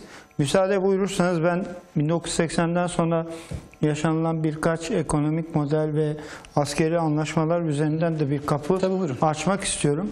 Türkiye o dönemden sonra IMF ile Dünya Bankası ile defalarca standby anlaşmaları ve proje kredileri yürüttü. Çok şükür uzunca bir süredir IMF ile zorluyorlar. Hatta yine de standby anlaşmasına gitmedik. Hatta IMF'li yetkililerin ya Türkler bizim kapımızı çalmıyor. Biz onlardan borç istedik üstüne borç veriyorlar. Hatta borç vermek istiyoruz almıyorlar gibi bir takım söylemler de hani mizahi bir dille anlatmak istersek. Katar'ın kapısını çalıyoruz ondandır. Kıskanıyorlardır. Kamuoyunda söyleniyor. E tabi Türkiye şimdi kendi yüzünü kendi bölgesine döndükçe, Türkiye kendi milli değerlerinden güç aldıkça, daha çok manevi değerleri üzerinde yükseldikçe farklı projeksiyonlarda kapımızı çalıyor. Bir başka konuda darbelerle ıslah edilemeyen, engellenemeyen toplum dinamiği ekonomik krizlerle engellenmeye çalışmış. Bakıyoruz şimdi 15 Temmuz'u yaşadık. Türkiye 15 Temmuz'da frenlenemedi.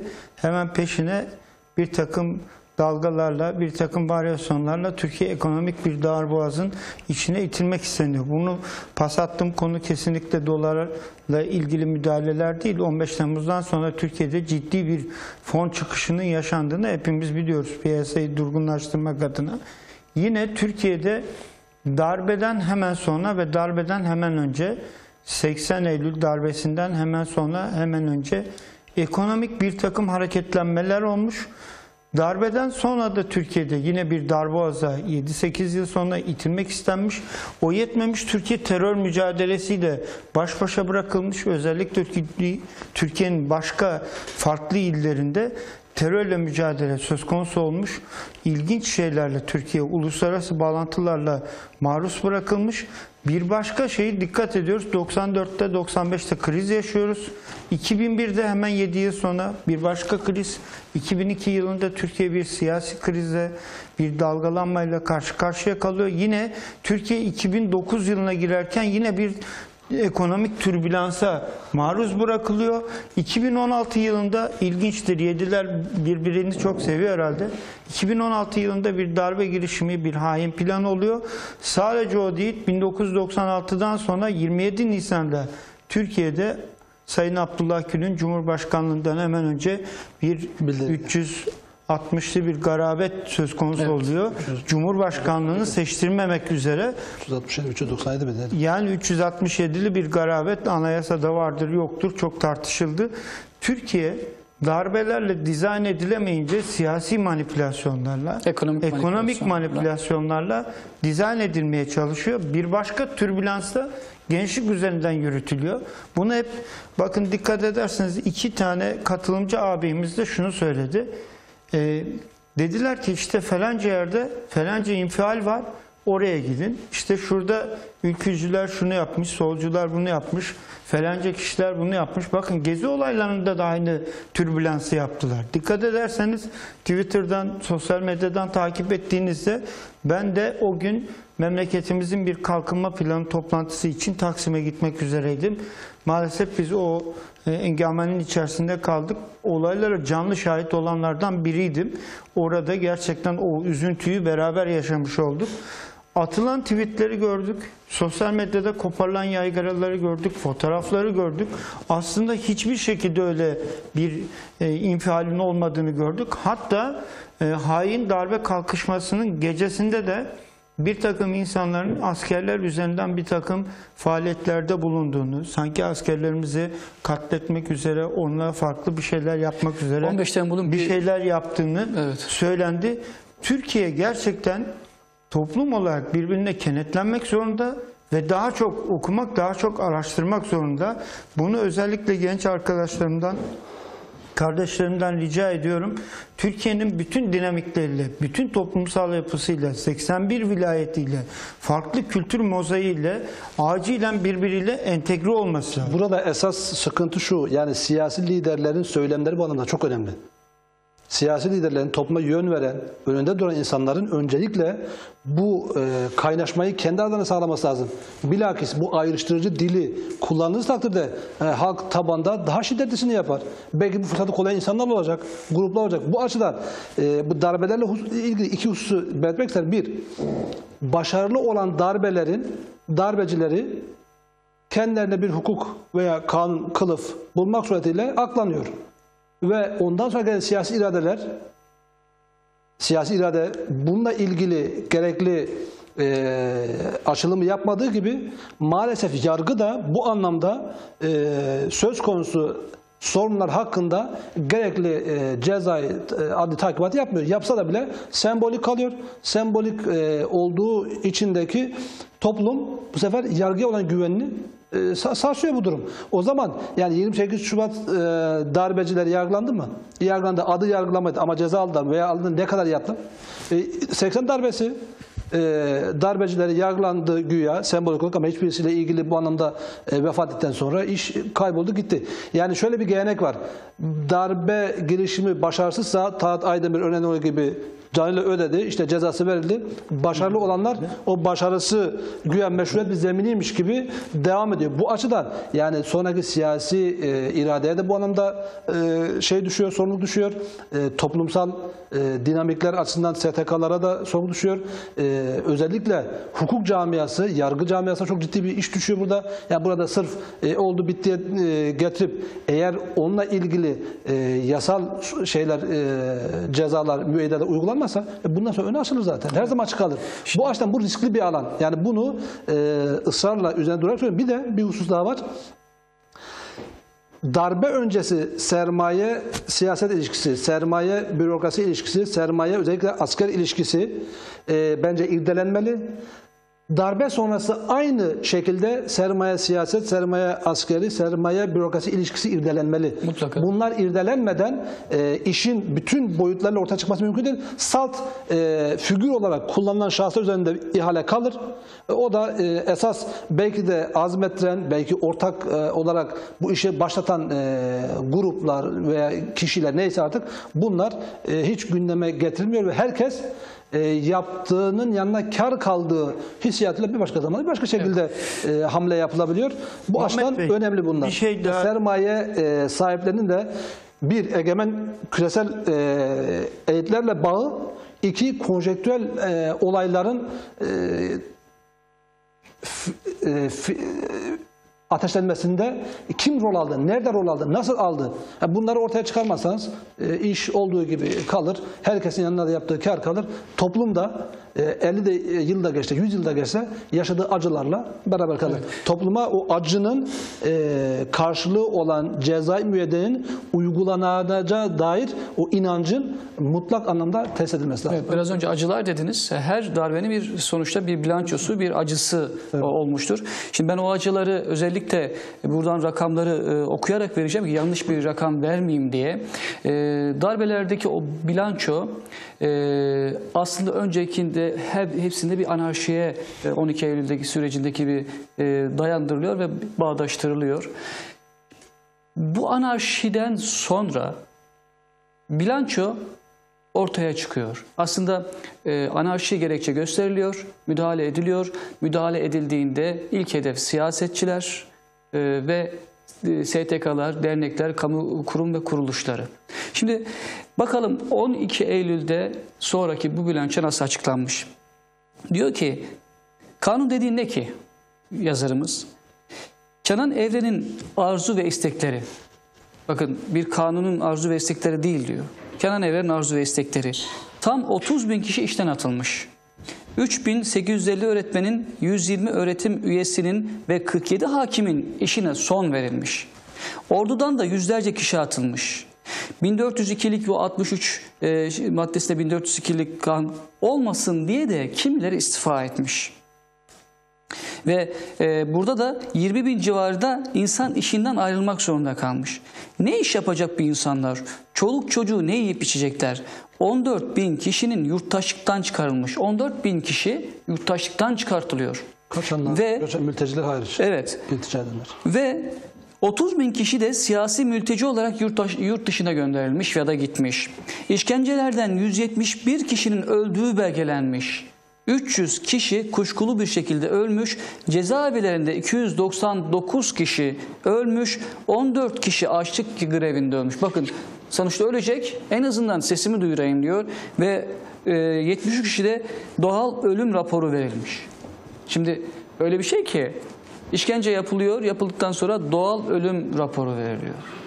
Şimdi Kenan Evren'in bu infiallerden sonra, bu olaylardan sonra bir açıklaması var. Ee, birazdan VTR'mizi e, getirecekler. Ee, sayın yönetmenimiz video 6 ve 7'yi ard, arda, ard arda gelecek. Ve orada e, eli titreyerek bir şey söylüyor. Yani bir üniversite öğrenciye, öğrencisine cevap olarak hep birlikte izleyenlerimizin vicdanına bırakıyoruz. idam kararı geldi önümüze. Ve dedi ki sağcı solcu yok. Mümkünse bir sağcı bir solcu, iki sağcı iki solcu neyse kaç tane çıkmışsa ikisini beraber yapalım. Sonra demesinler ki bize bu gelen e, yönetim efendim sağa tutuyor, solu tutuyor gibi töhmet altında kalmayalım.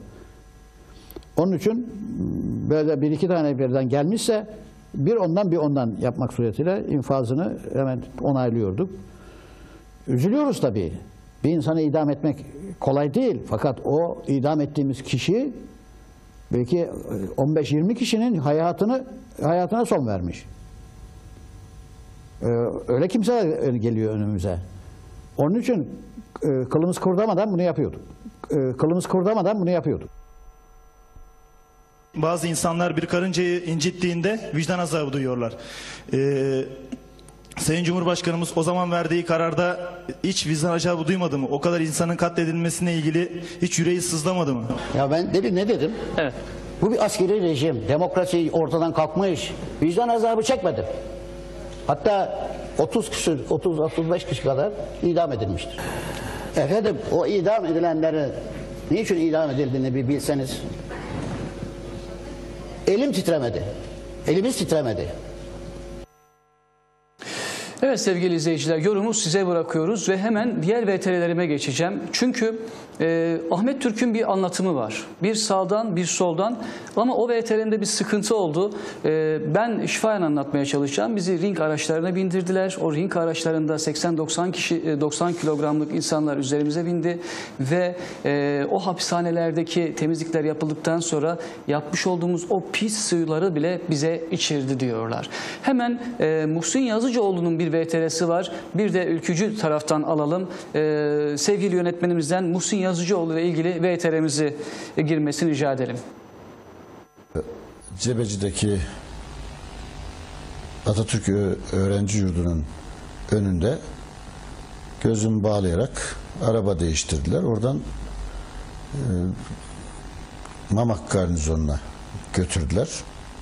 Tabii gözümüz bağlı, gözüm bağlı olduğu için sadece evrak alışverişinden komutanım emret komutanım cümlelerinden filan bir askeri bölgeye girdiğimizi e, anladım.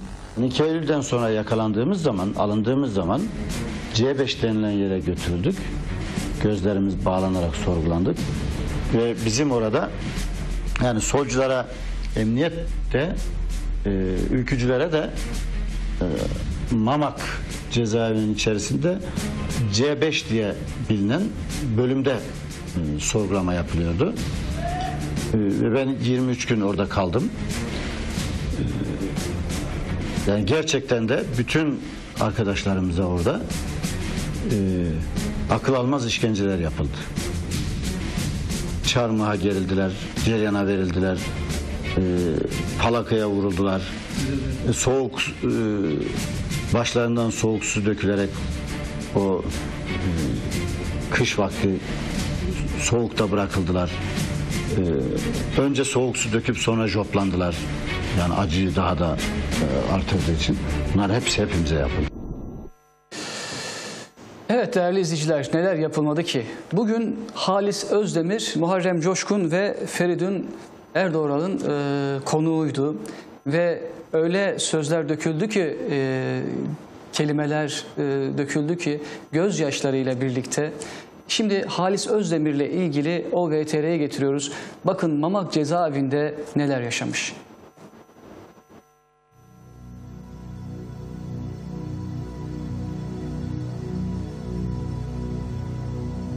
Tam 38 yıl önceydi. Türkiye 12 Eylül 1980 sabahına darbeyle uyandı. Yıllardır sağcı solcu ayrımı nedeniyle birbirine kırdırılan gençlerin toplanarak zindana atıldığı bu süreçte birçok kişi idamla yargılandı. Bu isimlerden biri de o dönemde Mamak cezaevinde yatıp idamla yargılanan Halis Özdemir'di. Dolayısıyla ülkemizin kıymetini Özdemir bugün Akit TV'de haber koordinatörümüz Muharrem Coşkun ve Feridun Erdoğral'ın sorularını yanıtlarken darbe öncesi ülkede yapılan tezgahı anlattı. Ya ben bizzat yaşadığım bir hadise anlatayım size. Kitapta da anlattım. O sıralar yani anlattığım hikaye olduğu sırada ben Akıncı Sporcular Derneği'nin genel başkanıydım. Akıncılar Genel Merkezi'nde bir genç adam, genç demeyelim ya 40 yaşlarında bir adam geldi. Gelen adam bugün görsem tanıyacağım zihnime kazınmış bir simadır. Meşin ceketli, meşin şapkalı bir adam. Tam bir kamyon şoförü. Türkiye'de büyük bir kavga var, komünizm geliyor. Ben size iki tır dolusu silah hibe edeceğim. İsterseniz adreslerinize bırakalım. Siz verin, isterseniz bize deyin ki falan yere boşaltın, biz oraya boşaltalım. Ben hemen düşündüm şöyle. Hayır desem başka kanallar arayacağını düşünerek. Dedim ki ben bunu niye yapıyorsunuz? E, ülkeye komünizm geliyor dedi. Biz bunu ben sade bir vatandaş olarak bunu kabullenemiyorum. Size böyle bir şeyde bulunuyorum ben. O sıralarda Akıncılar Teşkilatı'nın sayısı ülke genelinde bakın vilayet sayımız 67'dir. İlçe sayımız da işte 500'lerde falan. Evet. Bize te- teklif ettiği silah iki tırdır.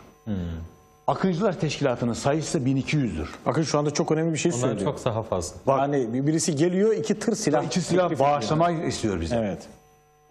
Akıncılar Teşkilatı e, insanlar terörün dışında durduğu için Akıncılar bunun kardeş kanı dökmek olduğuna inanıyoruz. Dolayısıyla biz bu bağışınızı kabul etmiyoruz deyince halbuki biz yönetime bu, bu meseleyi götürmedim. Sadece genel başkan, diğer arkadaşlar, bir iki arkadaşla konuyu müzakere ettik. Vehametini anlatmak istiyorum. Bir başka şahıs geldi. Nasıl cevap verdi size? Hiç konuşmadı. Kalktı ve gitti. Özdemir o günlerde kaldığı Mamak cezaevinde kendisine yapılan işkenceyi dün gibi hatırlıyordu. 12 gün ayakta işte bin defa İstiklal Marşı bir defa gençlik, gençlik marşı bin defa işte e, askeri marşlar vesaire filan e, bunları söyletiyorlar. Artık ayakta duracak takatım halim kalmamış. Şeydeki tozlar, o pislikler toz olmuş. Yani uygun adım marş yaptırdıkları için. Evet. Onlar ağzıma dönmüş, dolmuş. Dilim dönmüyor. Ne söylediğimi ben anlamıyorum. Çünkü dilim artık dönmüyor. Ne kadar kaldınız siz? Hücrede tam 40 gün kaldım. O bahsettiğim bir metrekare hücrede 40 gün kaldım. Toplamda? 12 gün bittikten, bir buçuk yıl kaldım. 12 gün bittikten sonra ben zannettim ki herhalde işkence kısmı bu. Asıl yani bizim vücutumuzun tamamen e, iflas etmesi, ondan sonra tahammül ve daha şeyimizin kalmamasını temin etmek için onu yapmışlar. 12 Eylül darbesinde yaşananların canlı tanığı olan Özdemir o günleri anlatırken zaman zaman gözyaşlarını tutamadı. İçeride beraber yattığımız arkadaşlardan birisi evliydi.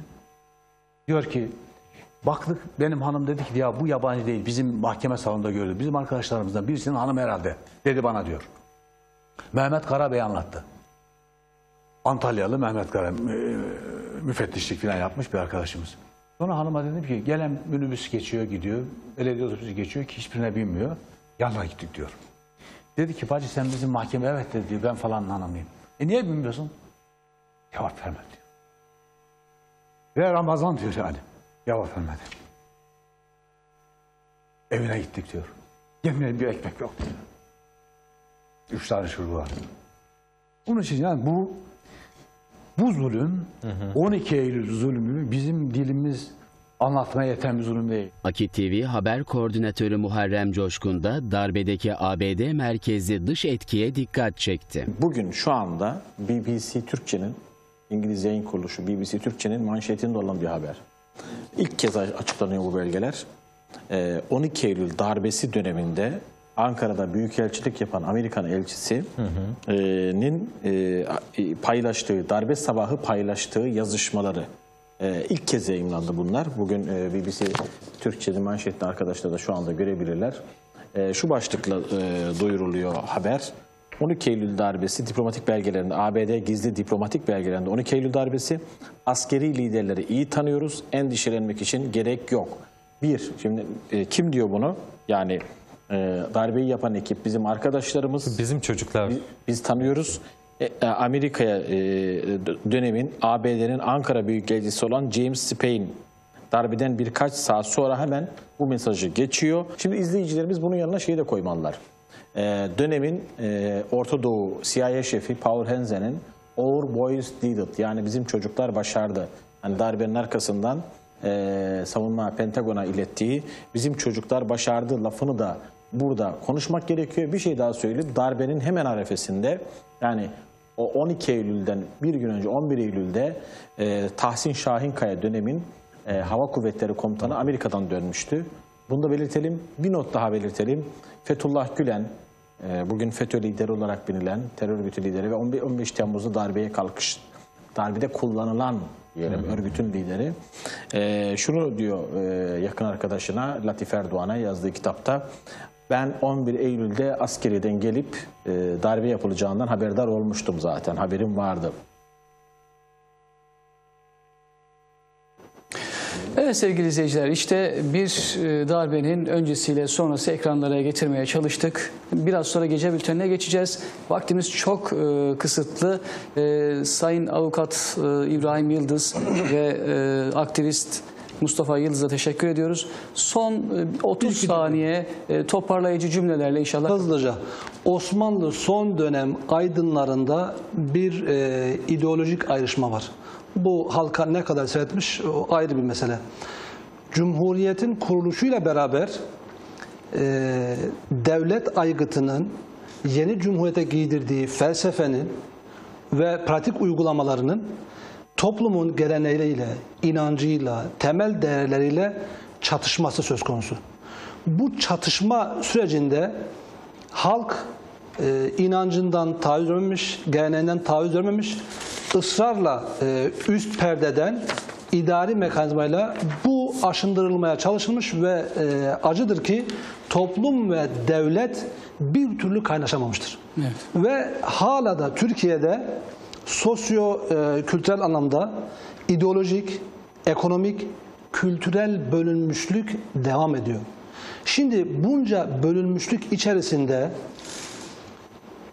devlet adamlarının, siyasilerin, kanaat önderlerinin yapacağı en temel iş herkesi kendi dünya görüşüyle, kendi kültür düzeyiyle, kendi haliyle bir kere kabul etmeyle başlayacak. Ve devletle halk çatışması, kavgası, didişmesi son bulmak zorunda. Aksi takdirde bu darbeler devam eder. Darbeler e, sosyal, kültürel alandaki bir takım evrilmelerin, bir takım idari, iktisadi modelleme taleplerinin bir e, uzantısı olarak, baskı unsuru olarak gelmiş e, uygulamalar. Bundan dolayı bu bölünmüşlüğü kabul edeceğiz ama bütünlük anlamında aynı milletin, aynı toplumun, aynı ülkenin, aynı geleceğin üyeleri olması açısından da bunu en tepeden en aşağıya kadar hassasiyetle inşa etmemiz, seçimlere bunu kurban etmememiz icap eder. Evet. Bunu Mustafa Bey çok kısa sizden de Ben de e, son sözü alalım. izleyicilerimize bu vakte kadar bizleri izledikleri için teşekkür ediyorum. Bir paragrafla cümlemi kapatmak istiyorum. Dikkat ederseniz Türkiye'de siyasi iktidarlar asla siyasi ömrünü tamamlayamadılar. İstikrar ne kadar uzun sürse bile 27. dönem 65. hükümet. Şu paragrafla kapatmak istiyorum. Sevgili anneciğim, babacığım, sizlere ne kadar suçum varsa hakkınızı helal edin. Eğer şu an suçumdan dolayı yargılanmışsa cezamı çekmeye razıyım. Eğer beni hatam bir hatadan dolayı idam ediyorlarsa Allah'la onlarla mahşerde karşılaşmayı Allah'tan dilerim. Ben de bir an evvel kardeşlerim gibi Allah'ın huzuruna çıkacağım. Beni idam edecekler. Şunu hiçbir zaman unutmasınlar ki Mustafa'lar ölür, vatan ve davalar yaşar. Mustafa Pehlivanoğlu'nda da rahmetli. Kellemi ve verdiğim bu yolda anıyoruz. zafer inananlarındır diyor. Evet. Biz de o kutlu zafer yolunda yürüyen bu vatanın tüm evlatlarını hangi görüşe mensup olursa olsun rahmet ve minnetle anlıyoruz. Evet. Evet Mustafa Pehlivanoğlu da bu vesileyle rahmet ve minnetle andık. Efendim Genç Görüş Akit TV ekranlarında her hafta ekranlara gelecek. Yeni konu ve konuklarla ekranlarınızda olacağız. Gençliğin sesi olacak, gören gözü olacak, duyan kulağı olacak, çıkan sesi olacak. Efendim bizden bu haftalık bu kadar. Haftaya görüşmek, buluşmak ümidi dileğiyle sağlıcakla kalın. Allah'a emanet olun.